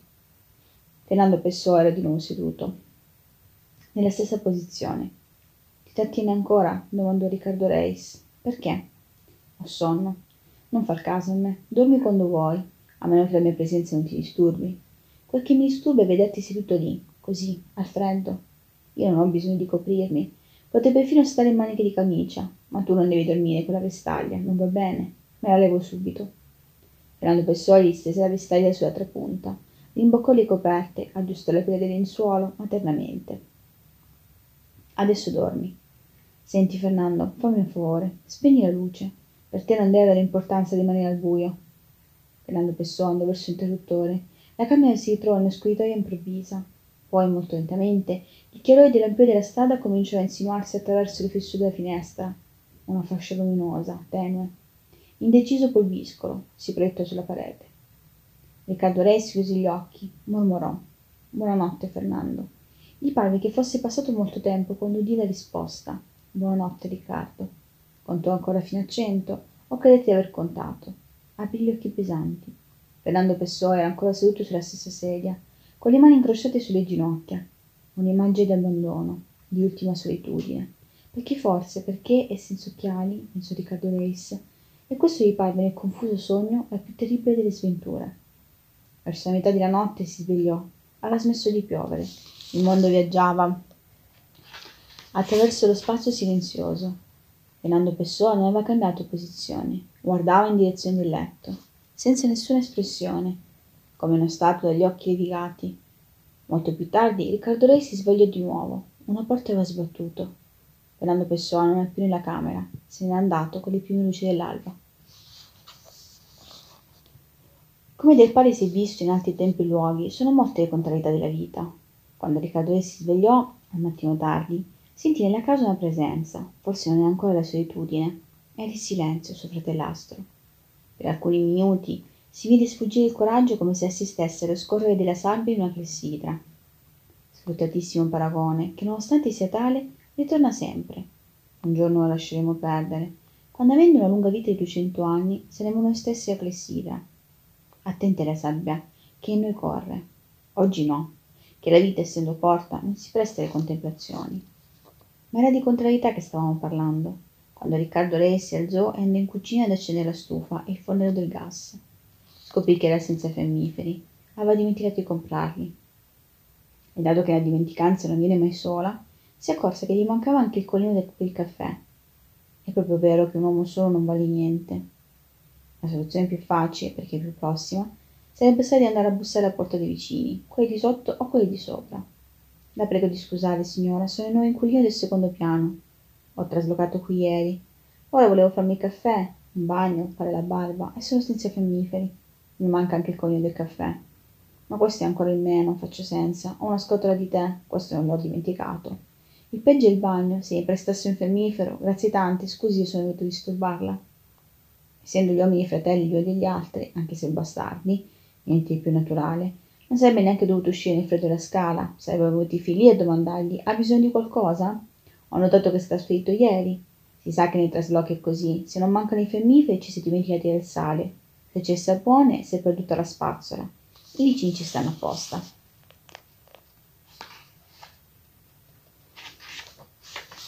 Riccardo Reis non andò a chiedere soccorso.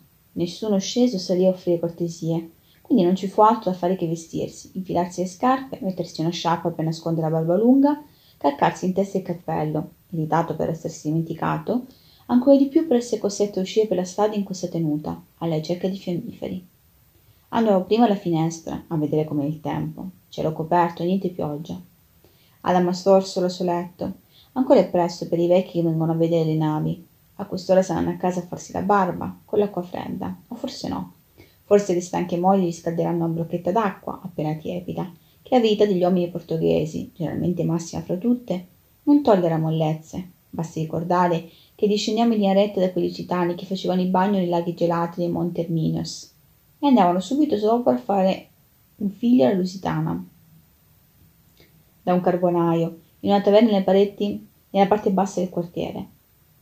Riccardo Reis comprò i fiammiferi, mezza dozzina di scatole, perché il carbonaio non ritenesse meschino e mattutino affare, ma si ingannava di molto, che una tal vendita all'ingrosso l'uomo non si ricordava di averla fatta da che mondo in mondo.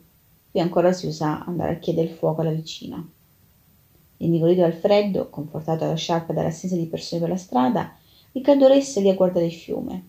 Il monte è l'alta sponda, tanto bassi da qui, e il riflesso del sole sulle acque, che appariva e scompariva secondo il passaggio delle nuvole basse.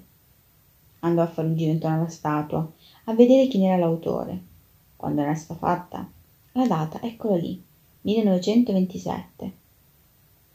Riccardo Ressi è uno spirito che cerca di essere, di trovare sempre simmetria nell'irregolarità del mondo. Otto anni dopo le mie partenze per l'esilio è stato messo qui ad Amastor. Otto anni dopo che ad Amastor è stato messo qui, io torno in patria. Oh patria, mi ha chiamato la voce dei tuoi sublimi avi. A quei punti i vecchi comparvero sulla strada, barba fatta, la pelle increspata di rughe e allume. Portano l'ombrello appeso al braccio. Indossano rozzi mantelli scoloriti, non portano cravatta, ma i bottoni sono rigorosamente abbottonati, non perché sia domenica, giorno di rispetto, ma per una dignità d'abito compatibile, perfino con uno straccio. I vecchi fissano Riccardo Reis, non si fidano di quella ronda intorno alla statua. Sono sempre più convinti che c'è un mistero in quest'uomo. Chi è? Che fa? Di chi vive? Prima di sedersi, stendono sulla tavola umida della panchina una tela ripiegata. Poi, con gesti misurati, lenti, di chi non ha fretta, si accomodano, tossiscono fragorosamente, il grasso estrae dalla tasca interna della mantella un giornale. È il secolo delle elemosine. Lo comprano sempre la domenica, ora l'uno, ora l'altro. Fra una settimana sarà il turno del magro. Riccardo Reis ha fatto un secondo e un terzo giro intorno ad Amastor. Capisce che i vecchi sono impazienti. Quella presenza irrequieta non li lascia concentrare nella lettura delle notizie, che il grasso dovrà fare a voce alta a beneficio della sua propria incomprensione. Ed è magro analfabeta, esitando sulle parole difficili, che anche così non sono troppe. Primo perché i giornalisti non si dimenticano mai che scrivono per il popolo. Secondo perché sanno molto bene perché il popolo scrivono. Riccardo Reis è sceso fino alla ringhiera. A questo punto si è dimenticato dei vecchi, che ormai si erano immersi nel giornale. Si udiva il mormorio. Uno che leggeva, l'altro che ascoltava e commentava. Il portamonete di Luis Seda c'era stampato una fotografia a colore di Salazar, strano indizio o caso commerciale. Questo paese è pieno di enigmi polizieschi. Si trova un uomo morto sulla strada per Sintra, si dice strangolato. Si dice che prima lo avevano addormentato con lettere, si dice che durante il sequestro ha patito molto la fame, si dice che è stato un delitto efferrato. Parola che è scritta irrimediabilmente nel diritto. E si viene a scoprire che nel portamonete l'assassinata aveva la fotografia del saggio. E questo dittatore tutto paterno, come pure freddamente, se ci è permesso il parallelo, ha dichiarato quell'autore francese, di cui si lascia registrato il nome per la storia. Costui si chiama Charles Ormond. Fra qualche tempo l'indagine confermerà che Louis Suceda era un grande ammiratore dell'eminente statista e sarà rivelato che sul cuoio di quel portamonete era visibile, stampata, un'altra dimostrazione del patriottismo di Useda, che era l'emblema della Repubblica, la sfera armillare, con i suoi castelli e scudi, nonché la seguente frase preferite prodotti portoghesi. Discretamente Riccardo Ressi si allontana, lascia i vecchi in pace, e tanta sorte nel drammatico mistero da non aver neanche notato la ritirata. Nient'altro accade degno di notte la mattinata, salvo la normale riluttanza di uno scaldabagno da molte settimane fuori uso. Ci fu un grande spreco di fiammiferi prima che la fiamma si stabilizzasse, come pure non merita uno sviluppo particolare? La malinconica deglutizione di una tazza di tè e tre biscottini, resti della cena di ieri, e il bagno nella profonda tinozza. Un po' incrostata fra nubi di vapore, la faccia rasata con calma, una prima volta, una seconda, come se avesse appuntamento a qualche parte con una donna, o lei venisse a trovarlo clandestinamente, avvolta in collo e velo, ansiosa di questo profumo di saponetta, di questa odorosa scia di acqua e colonia. Intanto che altri odori più violenti e naturali non confondono tutti gli odori in un odore di corpo ungente quello che le narici frementi assorbono quello che fa ansare i petti dopo la gran corsa. Anche così che vagano gli spiriti ai poeti rasoterra sfiorando la pelle delle donne anche se esse sono tanto lontane come in questo momento. Quando si dice qui è per ora frutto dell'immaginazione signora di grande potere e magnanimità Riccardo Reis è pronto per uscire. Non c'è nessuno che lo attende. Non va alla messa delle undici a offrire l'acqua benedetta all'eterna sconosciuta. Anche il buon senso gli suggerebbe di restarsene a casa fino all'ora del pranzo. Ha carte da sistemare, libri che ancora può leggere, e una decisione da prendere. Quale sarà la sua vita, quale lavoro, qual è la ragione sufficiente per vivere e lavorare? In una sola parola. Per che cosa? Non aveva pensato di uscire al mattino, ma a questo punto dovrà uscire. Sarebbe ridicolo tornare a svestirsi, riconoscere che si era vestito per andar fuori senza accorgersi di ciò che faceva. Ci capita tante volte. Facciamo i primi due massi, i passi per fantasticheria o distrazione, e poi non c'è un altro rimedio che fare il terzo, pur sapendo che si è sbagliato o è ridicolo. L'uomo è di fatto, in ultima analisi, un animale irrazionale. Entrò in camera. Pensò che forse avrebbe dovuto rifare il letto prima di uscire. Non poteva consentire a se stesso abitudini di trascuratezza. Ma non valeva la pena. Non aspettava visite. Quindi sedette sulla sedia su cui fernando pessoa trascorso la notte. Accavallò una gamba come lui. Incrociò le mani sul ginocchio. Tentò di sentirsi morto. Di guardare con occhi da stato il letto vuoto. Ma c'era una vena che gli pulsava sulla tempia sinistra. La palpebra di quel lato tremava. Sono vivo, mormorò. Poi a voce alta, sonora, sono vivo. E siccome non c'era nessuno lì che lo potesse smentire, mi credette. Si mise il cappello, uscì. uscì. I vecchi non erano più soli. Alcuni bambini stavano giocando a campana, saltando su un disegno tracciato col gesso per terra, di casa in casa, tutte con il loro numero progressivo. Sono tanti i nomi che hanno dato a questo gioco. C'è chi lo chiama settimana o mondo, cielo e terra. Potrebbe anche essere roulotte o gloria. Il nome più perfetto sarebbe però gioco dell'uomo. È questo che sembra la figura, con quel corpo diritto e quelle braccia aperte, l'arco di cerco in alto, a formare testo pensiero. Seduto sulle pietre a guardare le nuvole, mentre i bambini lo calpestano, incoscienti dell'attentato. In là lo sapranno quel che costa, quando arriverà il loro turno. Ci sono dei soldati venuti troppo presto.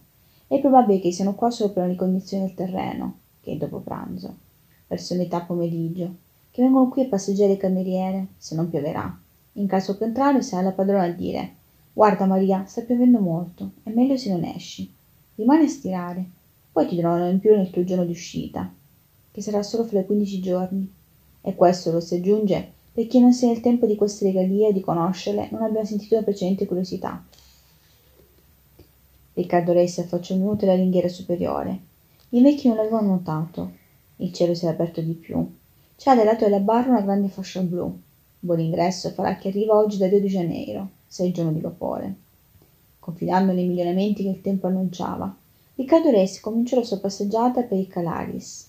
Scese fino a Camueres. Gli ebbe l'impulso sentimentale di visitare l'Hotel Braganza, con quei ragazzi timidi che hanno fatto il loro esame di liceo, che non dovendo più studiare una scuola che tante volte avranno annoiati, la tornano ancora a visitare. E anche i professori e i compagni delle classi indietro, finché tutti si stancano della predicazione inutile come tutti, si sta anche Pellegrino. Comincia a ignorare il luogo del culto, che sarebbe andato a fare all'albergo, a salutare Salvatore Pimenta. Allora, dottore, ha sentito una storia di noi? A qualche parola con Lidia, poverina, tanto nervosa. Apposta per malizia chiamata all'ingresso. Vieni qua, che il dottor Ace vuole parlarti.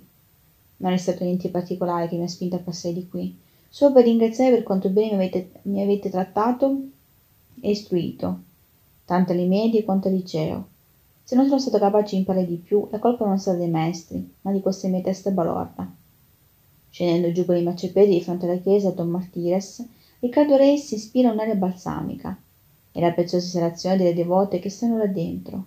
Ora è cominciata la messa per le persone di questo genere, quelle del mondo superiore, qui si riconoscono, se si ha buon naso, le famiglie e le essenze.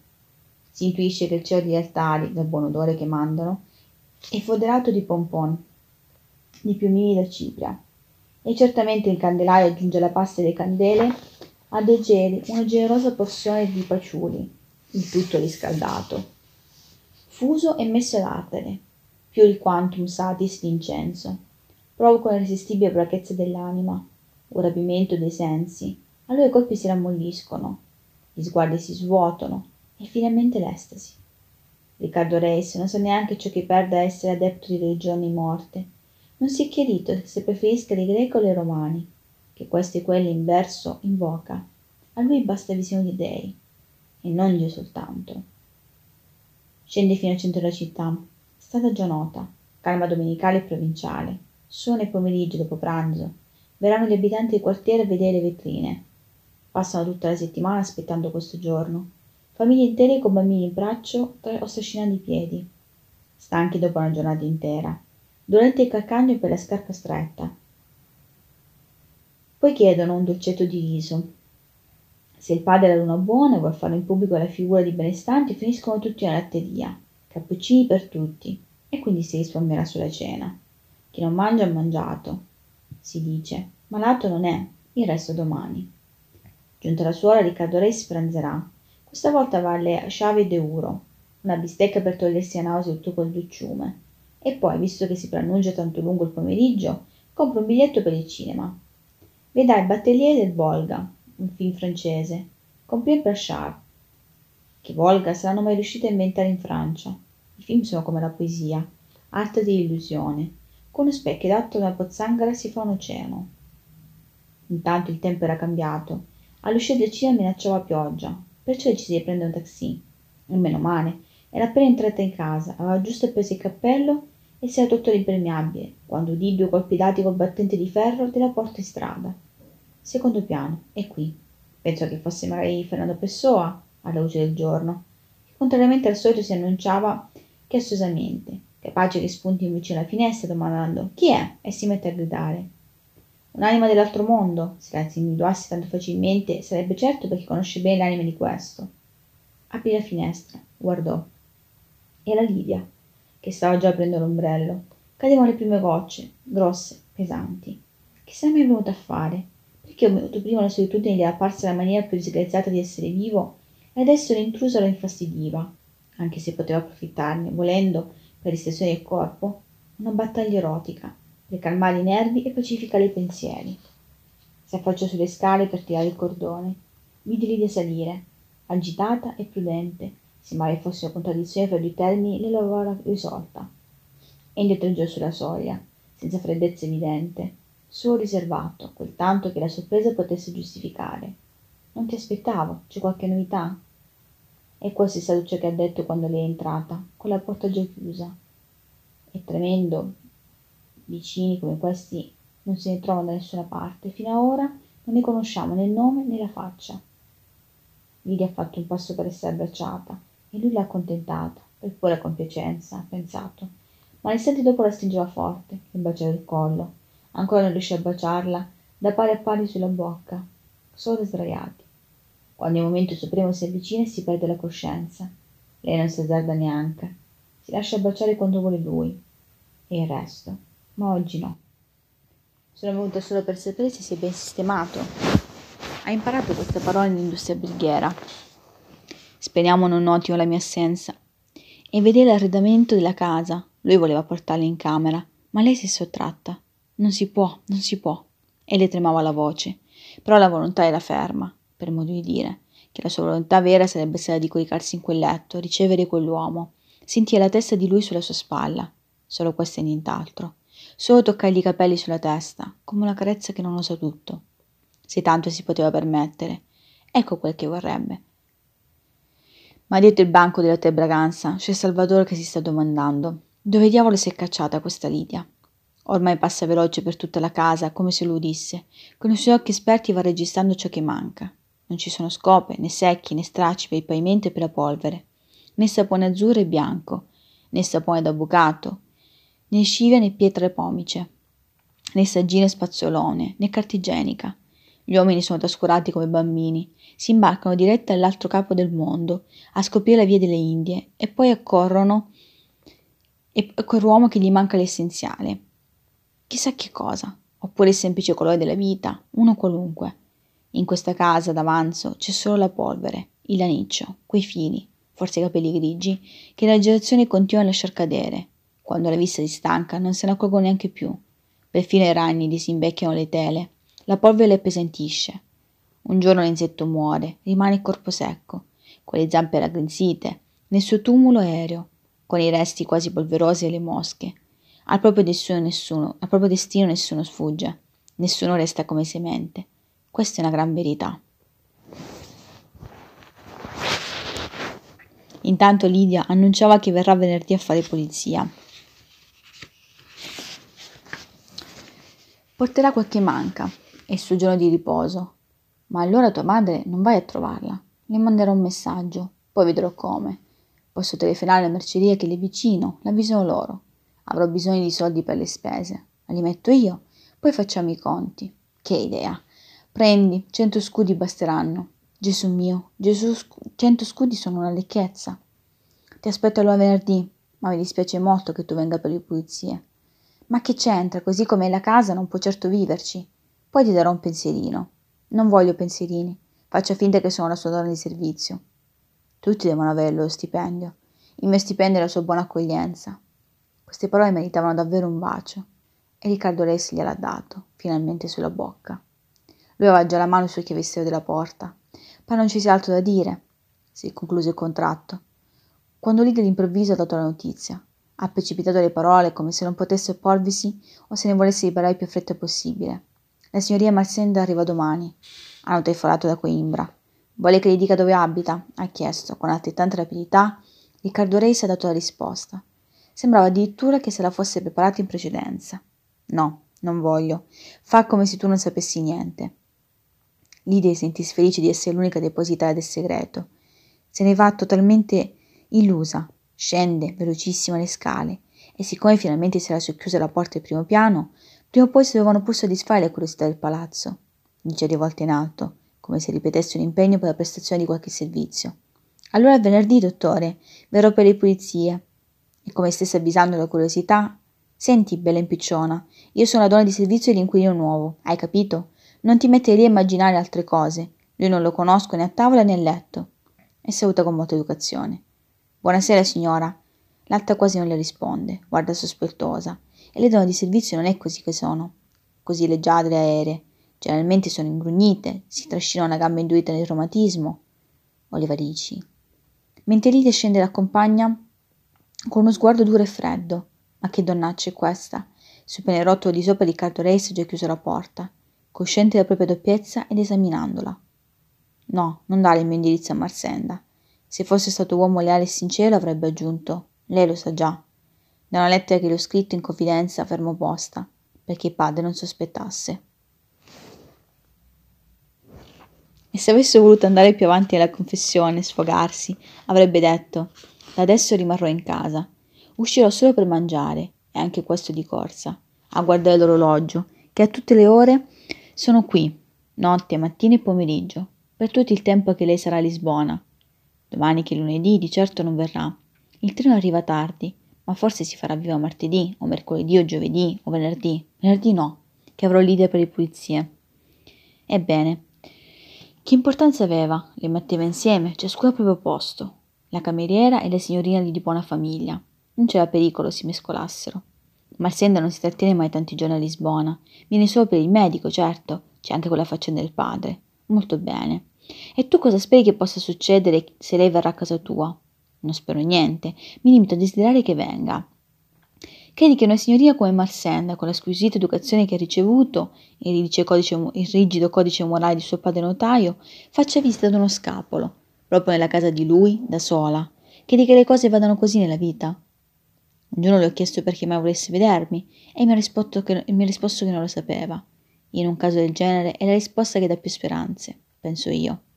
Uno non sa, l'altro ignora. Pare di sì, proprio come Adamo ed Eva nel paradiso. Che esagerazione.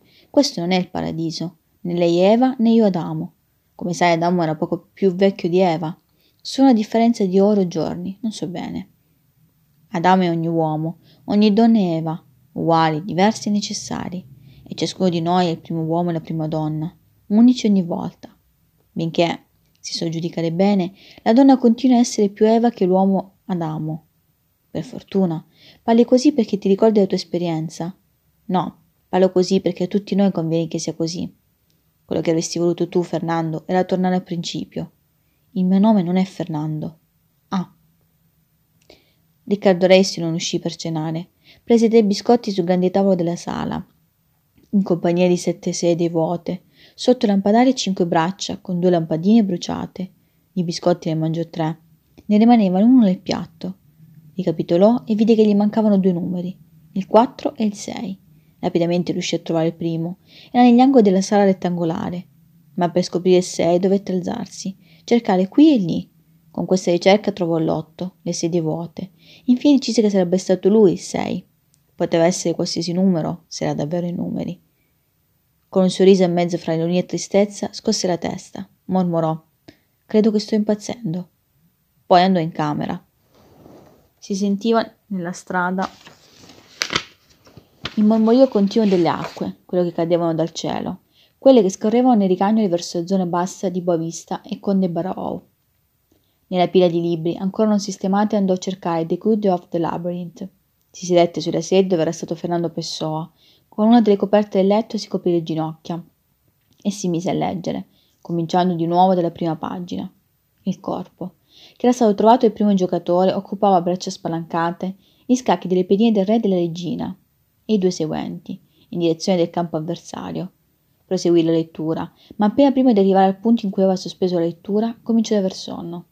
Si coricò, lesse ancora due pagine con sforzo, si addormentò, al bianco di un paragrafo, fra la trentesima e la trentottesima mossa, quando il secondo giocatore rifletteva sul destino del vescovo. Non si alzò per spegnere la luce centrale, ma la luce era spenta quando si svegliò nel cuore della notte. Pensò che alla fin fine doveva essersi alzato, che avesse girato l'interruttore. Sono cose che facciamo mezzi incoscienti il colpo di per sé, potendolo, evita i fastidi.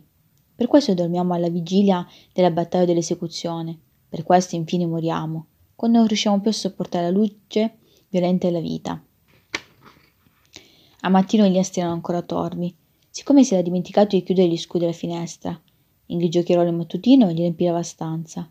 Aveva di fronte a sé un giorno lungo, una lunga settimana. Fra tutto, quello che gli dava più voglia era restarsene a letto, nel calduccio delle coperte, lasciando la barba crescere, diventare muschio, finché qualcuno non fosse venuto a bussare alla porta. Mattino gli astri erano ancora torvi. Siccome si era già dimenticato di chiudere gli scudi della finestra, in cui chiarore il mattutino gli riempiva la stanza. Aveva di fronte a sé un giorno lungo, una lunga settimana. Fra tutto, quello che gli dava più voglia era restarsene a letto, nel calduccio delle coperte, lasciando la barba crescere diventare musco finché qualcuno non fosse venuto a bussargli alla porta. Chi è? Sono Marsenda. E lui avrebbe esclamato concitato.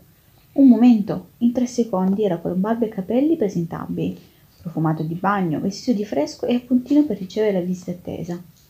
Entri, la prego, che bella sorpresa. Non una volta, ma due, e andarono a bussare alla porta. Prima il lettaio, per sapere se il signor dottore voleva il latte tutte le mattine.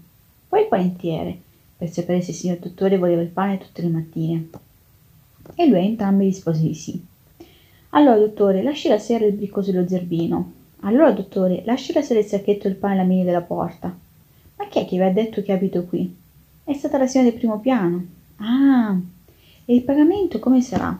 Se vuole paga ogni settimana o ogni mese? Meglio ogni settimana. Sì, dottore. Riccardo Resi non domandò loro come l'avevano saputo è una domanda che non vale mai la pena di fare. Del resto, abbiamo chiaramente sentito Lidia rivolgersi così quando scendeva le scale. C'era vicina e l'ha sentito anche lei. Con latte, tè e pane fresco. Riccardo Reis fece una sana colazione. Gli mancava il burro e la marmellata, ma questi cibi delicatissimi vanno bene semplici. Se la regina Maria Antonietta ai suoi tempi avesse avuto un pane simile, non avrebbe dovuto alimentarsi di brioche. Adesso manca solo il giornale, ma persino questo arriverà. Riccardo Lei entrato nella stanza, sente lo strillone. Il secolo, il noticias. Apre rapidamente la finestra ed ecco arrivare il giornale per aria, piegato come una lettera segreta, umido di inchiostro che il tempo, così com'è, non lascerà asciugare. Rimane sulle dita il pestoso nerastro, un po' grasso, come di grafite. Adesso tutte le mattine questo piccione viaggiatore verrà a bussare i vetri fino che da dentro gli aprono. Si sente lo strillone già dal fondo della strada. Poi, se la finestra tarda ad aprirsi, come quasi sempre accade, il giornale vola per aria, ruotando come un disco. Batte una prima volta, di nuovo una seconda. Ormai Riccardo Ressi è comparso. Ha spalancato la finestra e riceve fra le braccia il messaggero alato che reca le notizie del mondo. Si affaccia sul davanzale per dire grazie signor Manuel e il venditore risponde a domani signor dottore ma questo succederà più avanti. Per ora si stanno ancora mettendo d'accordo. Il pagamento sarà ogni mese, con i clienti fissi e così. Si risparmia il tempo e la fatica di star lì a cambiare tre centesimi tutti i giorni. Ben misera somma. Adesso aspettare. Leggere i giornali, in questo primo giorno anche quello del pomeriggio. Di leggere, valutare, ponderare e correggere da capo le odi, riprendere il labirinto del suo Dio, guardare la finestra e il cielo sentii parlare sulle scale vicine del primo piano e quella del terzo. Capii che quelle voci acute sono per lui. Dormire, dormicchiare e svegliarsi. Uscire solo per pranzo, di corsa. Linee pressi in una risticceria di Calarizza. Tornare al giornale già letti, alle odi raffreddate, alle sei ipotesi di sviluppo delle 49esima mossa. Passare davanti allo specchio, tornare indietro per sapere se è ancora là quello che è passato. Decidere che questo silenzio è insopportabile senza una nota di musica che uno di questi giorni andrà a comprare un grammofono e per informarsi su quello che più gli convenga cerchi gli annunci pubblicitari. Raymond, Phillips, LSA, Filco, Filò, Suertet, Warner. Va prendendo nota, scrive il super terodino senza capire altro che il super. È lo stesso con qualche dubbio, e povero uomo solitario si turba davanti a un annuncio che promette alle donne un petto impeccabile in tre, massimo cinque settimane, con i metodi parigini, ex Hubert, in accordo ai tre desiderati fondamentali, Booster Affarmer, Booster Develop, Booster Reducé. Enigma anglo-francese di cui traduzione il risultato si incarica Madame Hélène Duroy, di Rue de Miremine, che sta, è chiaro, a Parigi, dove tutte quelle splendide donne applicano questi metodi per assodare, sviluppare e ridurre, successivamente o allo stesso tempo. Riccardo Re si esamina altri stabilianti annunci, quello del ricostituente Banassau, quello del vino di tutto tipo di carne, quello di automobile Juvette, quello dell'elisir per Bocca Pargil, quello della sapinette Notte d'Argento, quello del Vinevelle, quello delle opere di Mercedes Blasco, quello della Selva, quello dei Sertati Odell, quello dei insistenti lettere della monaca portoghese, quello dei libri di Blasco Ibanez, quello degli spazzarini di Dentitec, quello di Vermont per i dolori, quello delle tinture per capella nuova, quella del Tesodoroi per le ascelle, e poi tornano assegnate notizie già letto. È morto Alexandre Glazunov, autore di Stenka Razin. Da Salazar, questo veterano dittatore, sono state inaugurate le mense presso la Fondazione Nazionale per l'Allegria nel Lavoro. La Germania annuncia che non tirerà le sue truppe dalla Renania. Altri temporali si sono abbattuti sul ripanteio, dichiarato lo stato di guerra in Brasile e arrestate centinaia di persone, parole di Hitler. O domineremo il nostro destino o periremo. Inviate forze militari nella provincia di Badajoz, dove migliaia di lavoratori hanno invaso proprietà rurali. Alla Camera dei Comuni alcuni oratori hanno affermato che avesse riconosciute a Reich, le, a Reich l'eguaglianza dei diritti. Nuovi e sconvolgenti sviluppi del caso Seda. Sono cominciate le riprese del film La rivoluzione di maggio, che racconta la storia di un fuoriuscito che entra in Portogallo per fare l'evoluzione, non quella, un'altra, e riconvertito ai ideali nazionalistici della figlia, della padrona della pensione, doveva vivere clandestinamente. Questa notizia Riccardo Reis se lesse una, due, tre volte, per vedere se riusciva a liberarsi di un eco indefinibile che gli ronzava nelle profondità recondite della memoria. Questo mi ricorda qualcosa, ma tutte e tre le volte non ci riuscì. E fu solo quando era già passata un'altra notizia, sciopero generale alla Carugna, che il termine mormorio si definì e divenne chiaro. Non si trattava neanche di un ricordo antico, era cospirazione. Quel libro, quella Maralia, la storia di quell'alta conversione al nazionalismo e i suoi ideali, che giudicare delle prove fornite successive, ha delle donne attive propagandiste, con risultati così magnifici che già la letteratura e la settima arte riconoscono nome e merito a questi angeli di purezza e abnegazione, che vanno fervidamente alla ricerca delle anime maschili, traviate, ancor meglio se smarrite. Non esiste neanche una, così che possano posarvi sopra la mano e lo sguardo purissimo sotto la lacrime in bilico. Non hanno bisogno di mandare citazioni, non interrogano, sibiline, come Biggio Capo, non assistono vigili come Victor. Sono plurali queste arti femminili, superano moltiplicandosi le altre, già menzionate di rassodare, sviluppare e ridurre.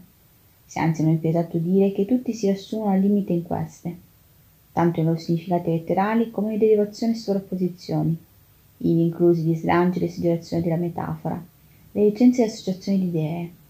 Sante donne, agenti di salvezza, religiose portoghesi, sorelle mariane e pietose, dovunque siano, nei conventi, nei bordelli, nei palazzi o nelle capanne, figli di padrone e di pensione del senatore, che messaggi astrali e telepatici scambieranno fra loro, perché da così diversi esseri e condizioni, secondo i nostri criteri terreni, risulti un'azione così concertata, ugualmente conclusiva, il riscatto dell'uomo perduto, che al contrario di quanto afferma il proverbio aspetta sempre consigli.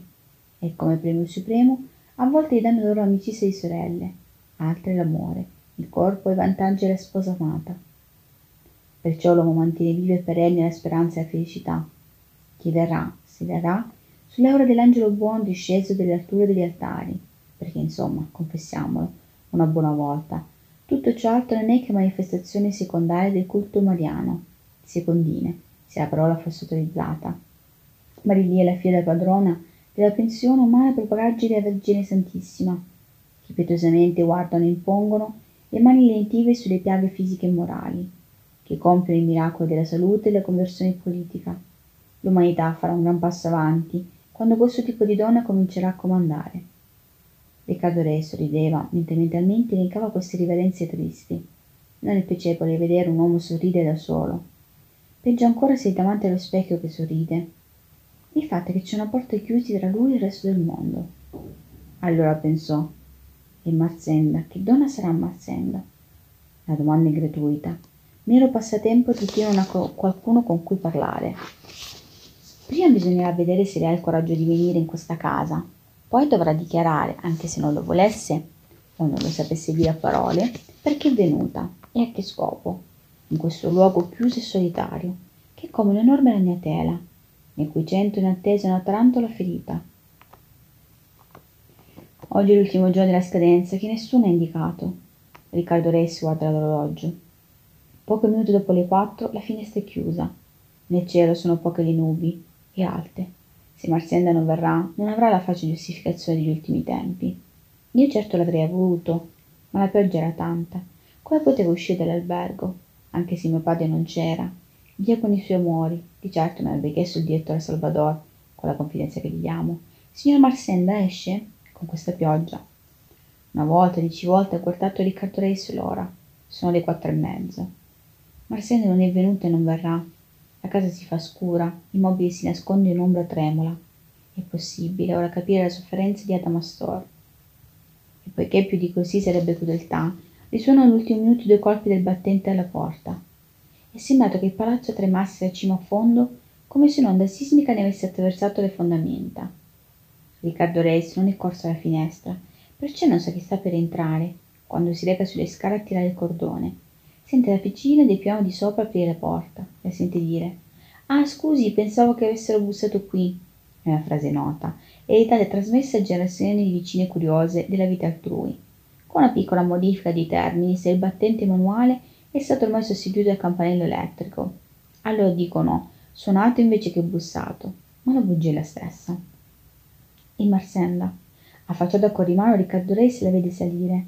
A metà della prima rampa le guarda in su per accertarsi che abiti realmente lì la persona che cerca. Sorride. Anche lui sorride.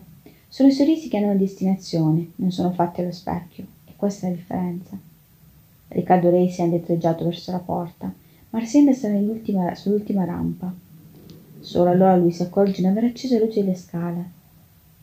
La riceverà quasi al buio, e mentre esiste su ciò che deve fare, e mentre esiste su ciò che deve fare, accendere o non accendere, c'è un altro livello del pensiero in cui si esprime una sorpresa.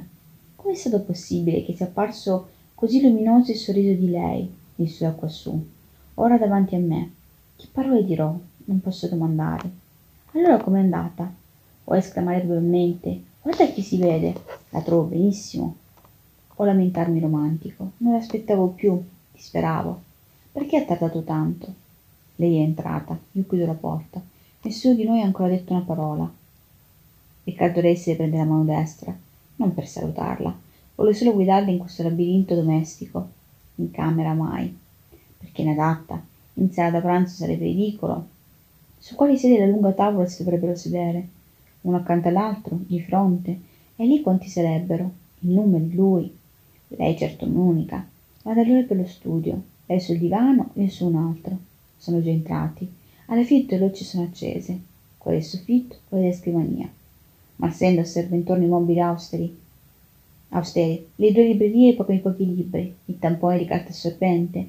Allora Riccardo Ressi dice, ora la bacerò. Lei non ha risposto. Con un gesto lento ha afferrato il gomito sinistro con la mano destra. Che significato potrà avere quel movimento? Una protesta? Una richiesta di tregua? Una resa? Il bacio così incrociato davanti al corpo è una barriera. Forse un rifiuto. Riccardo Ressi è avanzato di un passo. Lei non si è mossa. Altro passo. Quasi la tocca. Allora marsenda lascia il gomito abbandona la mano destra la sente morta come l'altra. La vita che è in sé si divide tra il cuore violento e le ginocchia tremanti vede il viso dell'uomo avvicinarsi lentamente.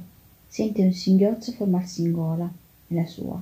In quella di lui le labbra si toccano è questo un bacio pensa ma questo è solo l'inizio del bacio la bocca di lui si stringe contro la bocca di lei sono le labbra di lui che disserano le labbra di lei. E questo è il destino del corpo, aprirsi. Ora le braccia di Riccardo Reis la cingono alla vita e alle spalle la stringono. E il seno si comprime per la prima volta contro il petto di un uomo. Lei capisce che il bacio non è ancora finito, che in questo momento non è neppure concepibile che possa terminare. Il mondo tornare al principio, alla sua prima ignoranza. Capisce anche che deve fare qualcosa in più che restarsene con le braccia abbandonate. La mano destra sale fin sulla spalla di Riccardo Reis, la mano sinistra è morta o addormentata. Perciò sogna, e nel sogno ricorda i movimenti fatti un tempo. Sceglie, collega, coordina quelli che sognando la sollevano fino all'altra mano. Ormai si possono già intrecciare le dita con le dita, incrociarsi dietro la nuca dell'uomo. Non deve nulla Riccardo Reis. Risponde al bacio con il bacio, alle mani con le mani. L'ho pensato quando ho deciso di venire. L'ho pensato quando sono uscito dall'albergo. L'ho pensato mentre salivo quella scala e l'ho vista faccia d'acqua di mano. Mi bacerà. La mano destra si ritrae dalla spalla, scivola giù, esausta. La sinistra non c'è mai stata. Nei momenti in cui il corpo fa un movimento ondulatorio di ritrazione, il bacio ha raggiunto quel limite in cui non può più bastare a se stesso. Separiamoci prima che la tensione accumulata ci faccia passare allo stadio seguente, quello dell'esplosione degli altri baci precipitati, brevi, ansanti in cui la bocca non si accontenta della bocca, ma ad essa torna costantemente. Chi di baci abbia qualche esperienza sa che è così, non Marzenda, per la prima volta abbracciata e baciata da un uomo, eppure capisce, lo capisce tutto il suo corpo, dentro e fuori la pelle, che quanto più il bacio si prolungherà, tanto più grande diventerà la necessità di ripeterlo, avidamente, in un crescendo senza possibile conclusione in se stesso. Sarà un altro la strada, come questo singhiozzo in gola che non cresce e non si libera, e la voce che chiede debole, mi lasci. E aggiunge, mossa non sa da quali scrupoli, come se avesse paura di averlo offeso, mi lasci sedere. Riccardo Reis la conduce fino al divano, l'aiuta. Non sa ciò che farà dopo. Che parole gli spetti di dire, se reciterà una dichiarazione d'amore, se chiederà semplicemente scusa, se si inginocchierà sui piedi per questo o quello, se rimarrà in silenzio in attesa che parli lei tutto gli sembra falso, disonesto. L'unica verità profonda era stata il dire la bacerò e averlo fatto. Arsene è seduta. Si è messa in grembo la mano sinistra, bene in vista, come per prendere testimone. Riccardo Rei si è seduto anche lui. Si guardano, sentendo entrambi il proprio corpo come una grande conchiglia mormorante. Il Marsenda ha detto, forse non dovrei dirlo, ma io speravo che mi baciasse. Riccardo Re si è chinato in avanti. Le ha afferrato la mano destra, se l'è portata alle labbra, infine ha parlato. Non so se è stato per amore o per disperazione che l'ho baciata. E lei ha risposto. Nessuno mi ha mai baciato prima. Perciò non so distinguere fra la disperazione e l'amore, ma almeno quel che, che ha sentito. Ho sentito il bacio come il mare deve sentire l'onda, se hanno un senso queste parole. Ma di nuovo sto dicendo quel che sento adesso, non ciò che ho sentito prima. Ho passato tutti questi giorni ad aspettarla, a domandarmi cosa sarebbe successo se fosse venuta, e non ho mai pensato che sarebbe andata così. È stato quando siamo entrati qui che ho capito che baciarla sarebbe stata l'unica azione che avesse un senso. E quando poco fa le ho detto che non sapevo se avevo baciato per amore o per ispirazione, se in quel momento sapevo cosa significasse, ora non lo so più. Vuol dire che in fondo non è disperato, o che in fondo non prova amore, Credo che ogni uomo ami sempre la donna che sta baciando, sia pure per disperazione. Che ragione ha per sentirsi disperato? Una sola, questo vuoto. Un uomo che può servirsi di tutte e due le mani e si lamenta. Ma io non mi sto lamentando. Dico solo che bisogna essere proprio disperati per dire a una donna, così come ho detto io, la bacerò. Poteva averlo detto per amore. Per amore l'avrei baciata, non l'avrei detto prima. Allora non mi ama. Lei mi piace, e anche a me lei piace. E tuttavia non è per questo che ci siamo baciati. No, davvero. Che faremo adesso, dopo quel che è successo? Sto qui seduta in casa sua davanti a un uomo con cui ho parlato tre volte nella vita. Sono venuta per vederlo, parlargli ed essere baciata. Al resto non voglio pensare. Un giorno forse lo dovremo fare. Un giorno forse. Oggi no. Vado a preparargli una tazza di tè. Ho dei pasticcini. Aiuto io. Poi dovrò andarmene. Mio padre può arrivare in albergo, chiedere di me. Si accomodi, si tolga la giacca. Sto bene così. Bevvero il tè in cucina. Poi Riccardo Ressi le fece vedere la casa. In camera non oltrepassarono la porta. Solo uno sguardo tornarono nello studio. E Marsenna domandò: Ha già cominciato le visite? Ancora no. Forse proverò con un ambulatorio, anche se dovrà essere per poco tempo. È questione di abituarmi. Sarà un inizio, e ciò di cui tutti noi abbiamo bisogno, di un inizio. La polizia ha disturbato di nuovo. No, e ora non sanno neppure dove abito.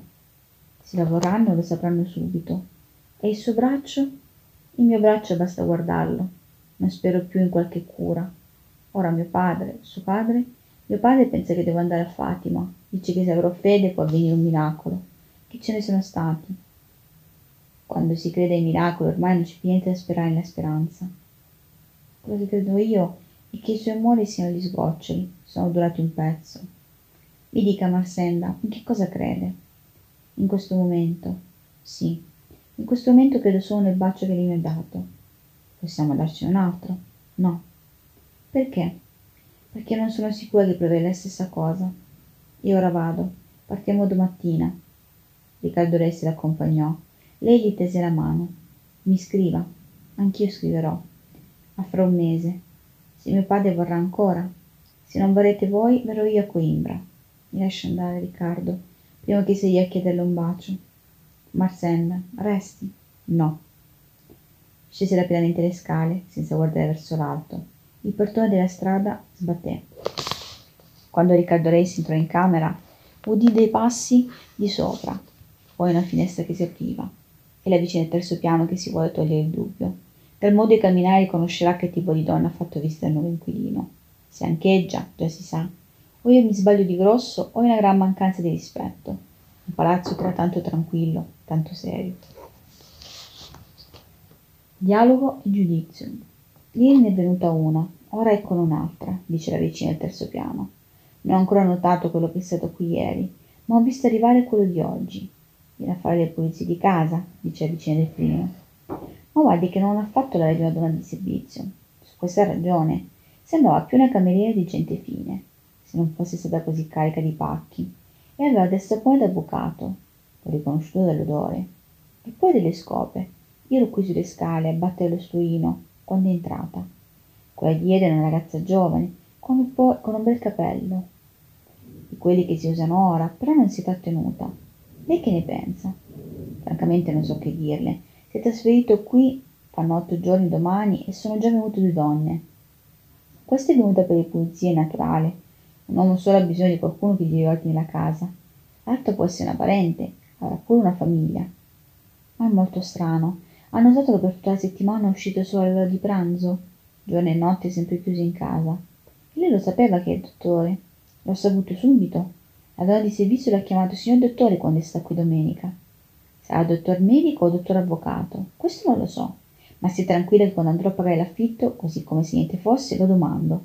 L'amministratore lo deve sapere. Poi mi dica che se fosse medico è sempre bene avere un dottore nel palazzo, per qualunque bisogno. A patto che sia di fiducia. Voglio vedere se riesco a pescare la donna di servizio per dirle che deve lavare la sua rampa tutte le settimane. Questa scala è sempre stato uno specchio. Glielo dica, glielo dica, che non pensi che ci metteremo noi a fare le cameriere. Ah, ci mancherebbe altro. Non sa davvero con chi ha a che fare. Questa fu la conclusione delle vicine del terzo piano. Chiudendosi così il giudizio e il dialogo, resta solo da menzionare la scena muta di lei che saliva a casa sua, molto lentamente, calpestando mollimenti i gradini con le pantofole. E vicino alla porta di Riccardo Reis si fermò in ascolto, con le orecchie appiccicate alla serratura. Udì un rumore d'acqua corrente, la voce della donna di servizio che cantava sottovoce. Fu una giornata di grandi lavori per Livia. Si era portato un grembiule che indossò, si legò e coprì i capelli con un fazzoletto e, rimboccate le maniche, si lanciò all'impresa con allegria. Sottrandosi ai giochi di mano che Riccardo Reis, di sfuggita, sentiva il dovere di farle. Errore suo. Mancanza di esperienza di psicologia. Che questa donna non vuole ora altro piacere se non questo di pulire, lavare e spazzare. Non le costa neanche fatica. Tanto ci è abituata. E perciò canta a voce bassa perché il vicinato non si stupisca della libertà delle donne di servizio. La prima volta che viene a lavorare in casa del dottore. Quando venne l'ora del pranzo, Riccardo Reis, che durante la mattina era stato mandato successivamente dalla camera allo studio, dallo studio alla sala, dalla sala alla cucina, dalla cucina al ripostiglio, dal ripostiglio al bagno, dal bagno all'uscito per ripetere il percorso in senso contrario, con rapida incursione in due stanze vuote, quando vide che era l'ora di pranzare e Lidia non smetteva di lavorare, disse, con un certo imbarazzo nella voce, che da Dio una riserva mentale. Sai, non ho da mangiare in casa. Se queste parole non fossero state una traduzione, tanto maldestra un pensiero, diciamo diversamente, se non fossero state una maschera mascherata, la frase sarebbe sentita così. Vado a pranzo, ma a te non ti voglio portare al ristorante, non starebbe bene per me. Come ti vuoi regolare? E le avrebbe risposto con le stesse lucide parole che sta pronunciando ora. Almeno Lidia non ha due facce. Vada a pranzo, vada. Mi sono portato una scodellina di minestra d'albergo e un po' di stufato. Li riscaldo e sono a posto. E guardi, magari non torni subito, così non ciamperemo l'uno nell'altro. E dicendo rideva. Si asciugava con il dorso della mano sinistra la faccia sudata. Con l'altra si rassettava il fazzoletto che voleva scivolare. Riccardo Resi toccò la spalla, disse allora fra poco e uscì. Era a mezza scala quando udì aprirsi la porta del primo e del terzo piano. Erano le vicine che andavano a dire in coro a Lidia Signorina, non si dimentichi di lavare la rampa del suo padrone. Vedendo il dottore erano orientate rapidamente. Quando Riccardo Resti era arrivato in strada, la vicina del terzo piano scenderà al primo e tutti e due. Oh, che spavento! Ma l'hai mai vista questa di uscirsi e lasciare la donna di servizio solo in casa? Dove si sono mai viste queste confidenze? Forse lavora oggi da lui nell'altra casa. Può essere. Vicina, può essere. Non dico di no. Ma può anche darsi che ci sia qualcos'altro sotto. Gli uomini sono certi mascalzoni. Arraffano tutto. Ma via, questo è pur sempre un dottore. Ma guardi, vicina, che può essere per modo di dire. E gli uomini poi, se li compri, chi li riconosce? Il mio neanche tanto. Ah, neanche il mio. Arrivederci, vicina, non mi faccia scappare la tizia. Sia tranquilla che non se ne va senza la lezione. Non fu necessaria. A metà pomeriggio Lidia uscì sul pianerotto armata di scopo e paletta, di acqua e sapone, di straccio e di spazzola. Quella del terzo piano aprì zitta zitta la porta e si mise a osservare da sopra. La scala risuonava per i colpi pesanti di spazzola sulle tavole di scalini. Lo straccio raccoglieva l'acqua sporca, poi era spezzato nel secchio. Tre volte fu cambiata l'acqua. Su e giù nel palazzo si respirava il buon odore di sapone. Non c'è che dire. Questo adone di servizio se l'è fatto suo. Lo deve riconoscere apertamente quello del primo piano, che alla fine l'ha avvicinata con le buone, con il pretesto di rentare lo stuino. Ora che Lidia stava arrivando al suo pianerottolo. Brava signorina, una scala che è uno specchio. Meno male che è venuto un signore tanto stuporoso al secondo piano. Il signor dottore vuole tutto ben fatto e molto esigente. Così fa anche piacere. Proprio così. Queste parole non sono state dette a Lidia, ma dalle vicine del terzo piano. Affacciata al corrimano c'è una certa voluttà, una sensualità in questo modo di guardare le tavole umide, di aspirare l'aroma lavato dei legni, una fratellanza femminile nei lavori domestici, una specie di muta assoluzione seppur di poca durata, neanche quanto una rosa. Lidia ha augurato la buona sera, si è riportata su in casa il secchio con la spazzola e lo straccio, il sapone, ha chiuso la porta, ha mormorato. Guarda queste due galline, che credono di essere per venire a sputar sentenza. Il suo lavoro è finito, tutto è pulito. Adesso Riccardo Reis può venire se vuole, come fanno certe padrone di casa in piccione, a passare il dito sulla superficie dei mobili, a frugare negli angoli delle case. È in questo istante che Lidia si riempie di una gran tristezza, di una desolazione, non perché si sente stanca, ma perché capisce, pur non potendole esprimere a parole, che il suo ruolo si è concluso. Ora deve solo attendere che arrivi il padrone di questa casa. Lui dirà una frase gentile, ringrazierà, vorrà ricompensare lo sforzo e la cura. E lei ascolterà con un sorriso estraneo, riceverà meno il denaro, poi torna in albergo. Oggi non è neanche andata a trovare sua madre, a prendere notizie del fratello. Non che sia pentita, ma è come se non avesse nulla di suo. Si è tolto il grembiule, indossa la blusa e la gonna. Il sudore le si raffredda addosso. Si siede sullo sgabello della cucina, le mani incrociate in grembo, in attesa. Sente dei passi sulle scale.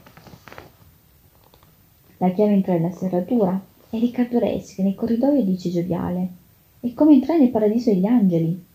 Lidia si alza, sorride lusingata, improvviso felice. E subito commossa perché lui si avvicinava, arriva a mani tese, braccia aperte. No, non mi tocchi. Sono tutta sudata, me ne vado subito. Niente affatto, è ancora presto. Bevi una tazza di caffè. Ho qui dei pasticcini alla crema. Ma prima va a fare un bagno per rinfrescarti. Via, che idea. Fare un bagno a casa sua, dove si è mai visto? Non si è mai visto, ma si vedrà. Fa quel che ti dico. Lei non ha opposto altra resistenza, non avrebbe potuto, benché le imponessero le convenzioni, perché questo momento è uno dei più belli della sua vita. Fa scorrere l'acqua calda, spogliarsi, entrare pian piano nella tinozza, sentire le membra languide, nel ristoro sensuale del bagno, usare quella saponetta e quella spugna, strofinare tutto il corpo, le gambe, le cosce, le braccia, il ventre, i seni, e sapere che dietro quella porta l'attende l'uomo. Cosa starà facendo? Quel che pensa l'immagino, se entrasse qui, se venisse a vedermi, guardarmi, e io nuda come sono, che vergogna. Allora sarà per vergogna che il cuore le batte tanto in fretta, oppure per ansia. Ora esce dall'acqua. Ogni corpo è bello quando esce gocciolante dall'acqua. Questo pensa Riccardo Reis che ha aperto la porta. Livia è nuda, si è coperta con le mani il petto e il sesso. Dice, non mi guardi, è la prima volta che si trova così davanti a lui. Se ne vada, mi lasci vestire. Lo dice a voce bassa, ansiosa ma lui sorride, un po' di tenerezza, un po' di desiderio, un po' di malizia, e le dice non vestirti, asciugati solo. Le offre il asciugamano aperto, le avvolge il corpo, poi esce, va in camera e si spoglia. Il, letto è stato fatto di fresco, le lenzuola profumano di nuovo, e lì dentro si tiene ancora l'asciugamano davanti, con esso si nasconde. Non è un progetto vero, ma lo lascia cadere per, per terra avvicinandosi al letto. Finalmente appare coraggiosamente nuda. Oggi non è giornata a sentir freddo. Dentro e fuori tutto il suo corpo arde ed è Riccardo Reis che trema e si avvicina ingenuamente. La prima volta sono tutti e due nudi, dopo tanto tempo. La primavera prima o poi dovevi venire. Ha tardato, ma forse serve. Al piano di sotto, appollaiata in cima a due alti sgabelli, uno sull'altro, a rischio di cadere e rompersi una spalla. La vicina tenta di cifrare il significato dei rumori confusi, come un garbuglio di suoni che attraversano il soffitto. Ha la faccia rossa di curiosità ed eccitazione, gli occhi lucidi di libidine repressa. Così vivono e muoiono queste donne. Volete vedere che il dottore è quella là? O chissà se in fondo non sarà altro che l'onesto lavoro di rivoltare e battere i materassi, sebbene a un legittimo sospetto non mi sembri. Mezz'ora più tardi, quando Lidia uscì, la vicina di primo piano non osò aprire la porta, perfino la sfacciataggine dei limiti. Si contentò di spiarla, felina e occhio di falco, dallo spioncino, immagine rapida e agile che passò avvolta da un odore di uomo come una corazza. E questo è l'effetto sul nostro corpo dell'odore dell'altro. Riccardo Reis lassù nel suo letto chiude gli occhi.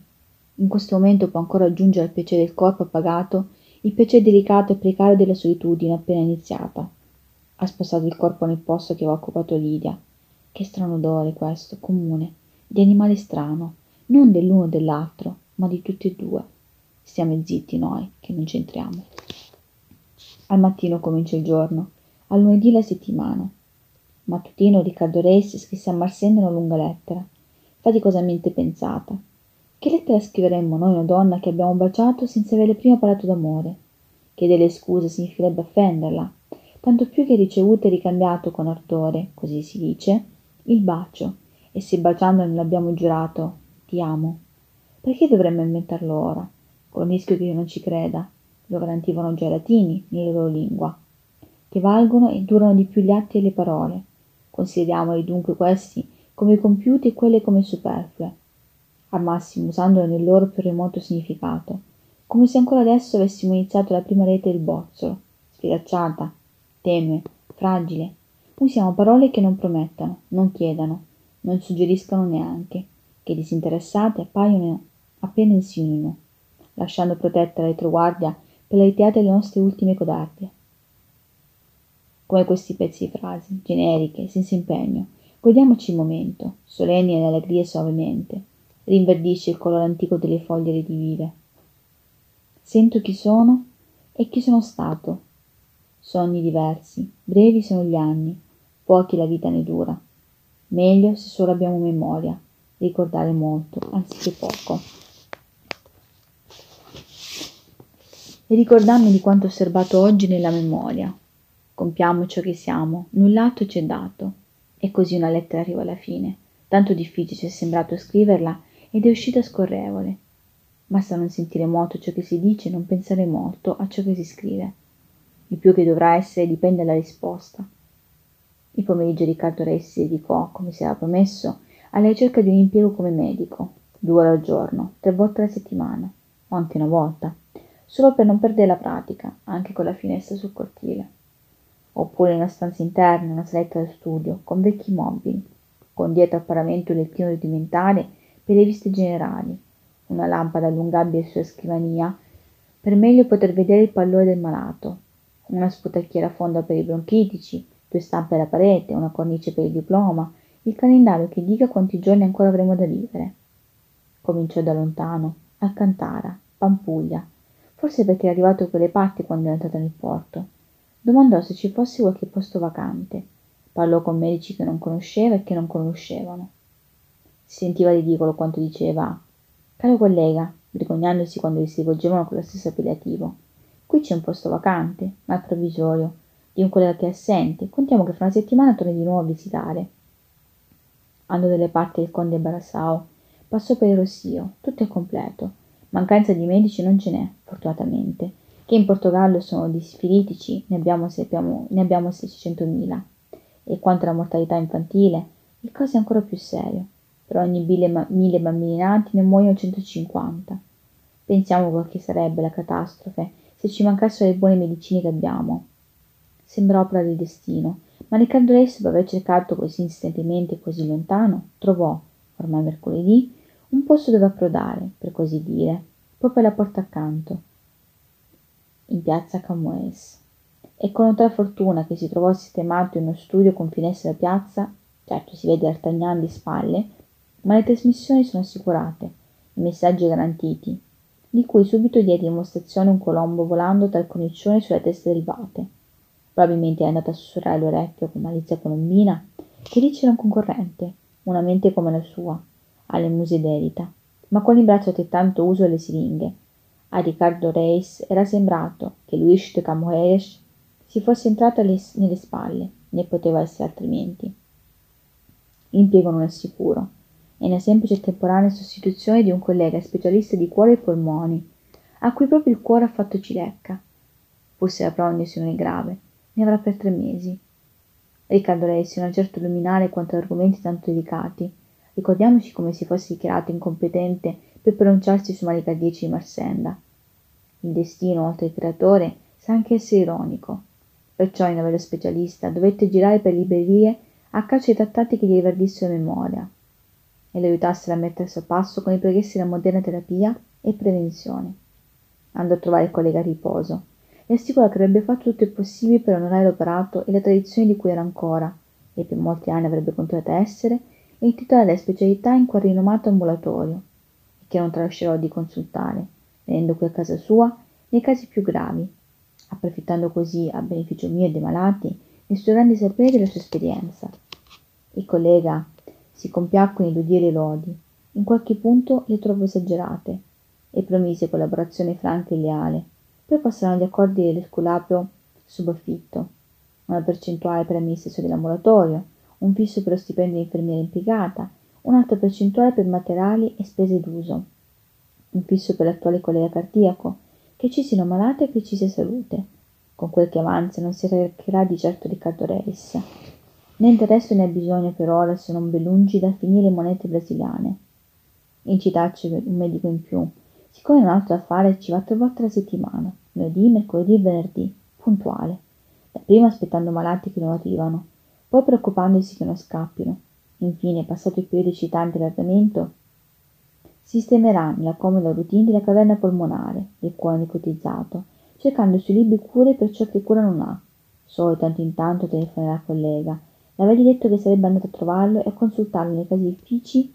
Era stato meno parlare per parlare, tattica di convenienza, Ciascuno di noi continua a fare quel che può per la sua vita. E a prepararsi la morte. E che lavoro c'è tutto questo, senza dimenticare quanto sarebbe stato difficile domandare. Collega, qual è la sua opinione? A me sembra che il malato abbia il cuore attaccato a un filo. Mi dica lei se vede qualche via d'uscita, oltre quella ovvia, verso l'altro mondo. Sarebbe stato come andare a parlare di corte in casa d'impiccato. Prevego che qui compare per la seconda volta. Ma il non ha ancora risposto.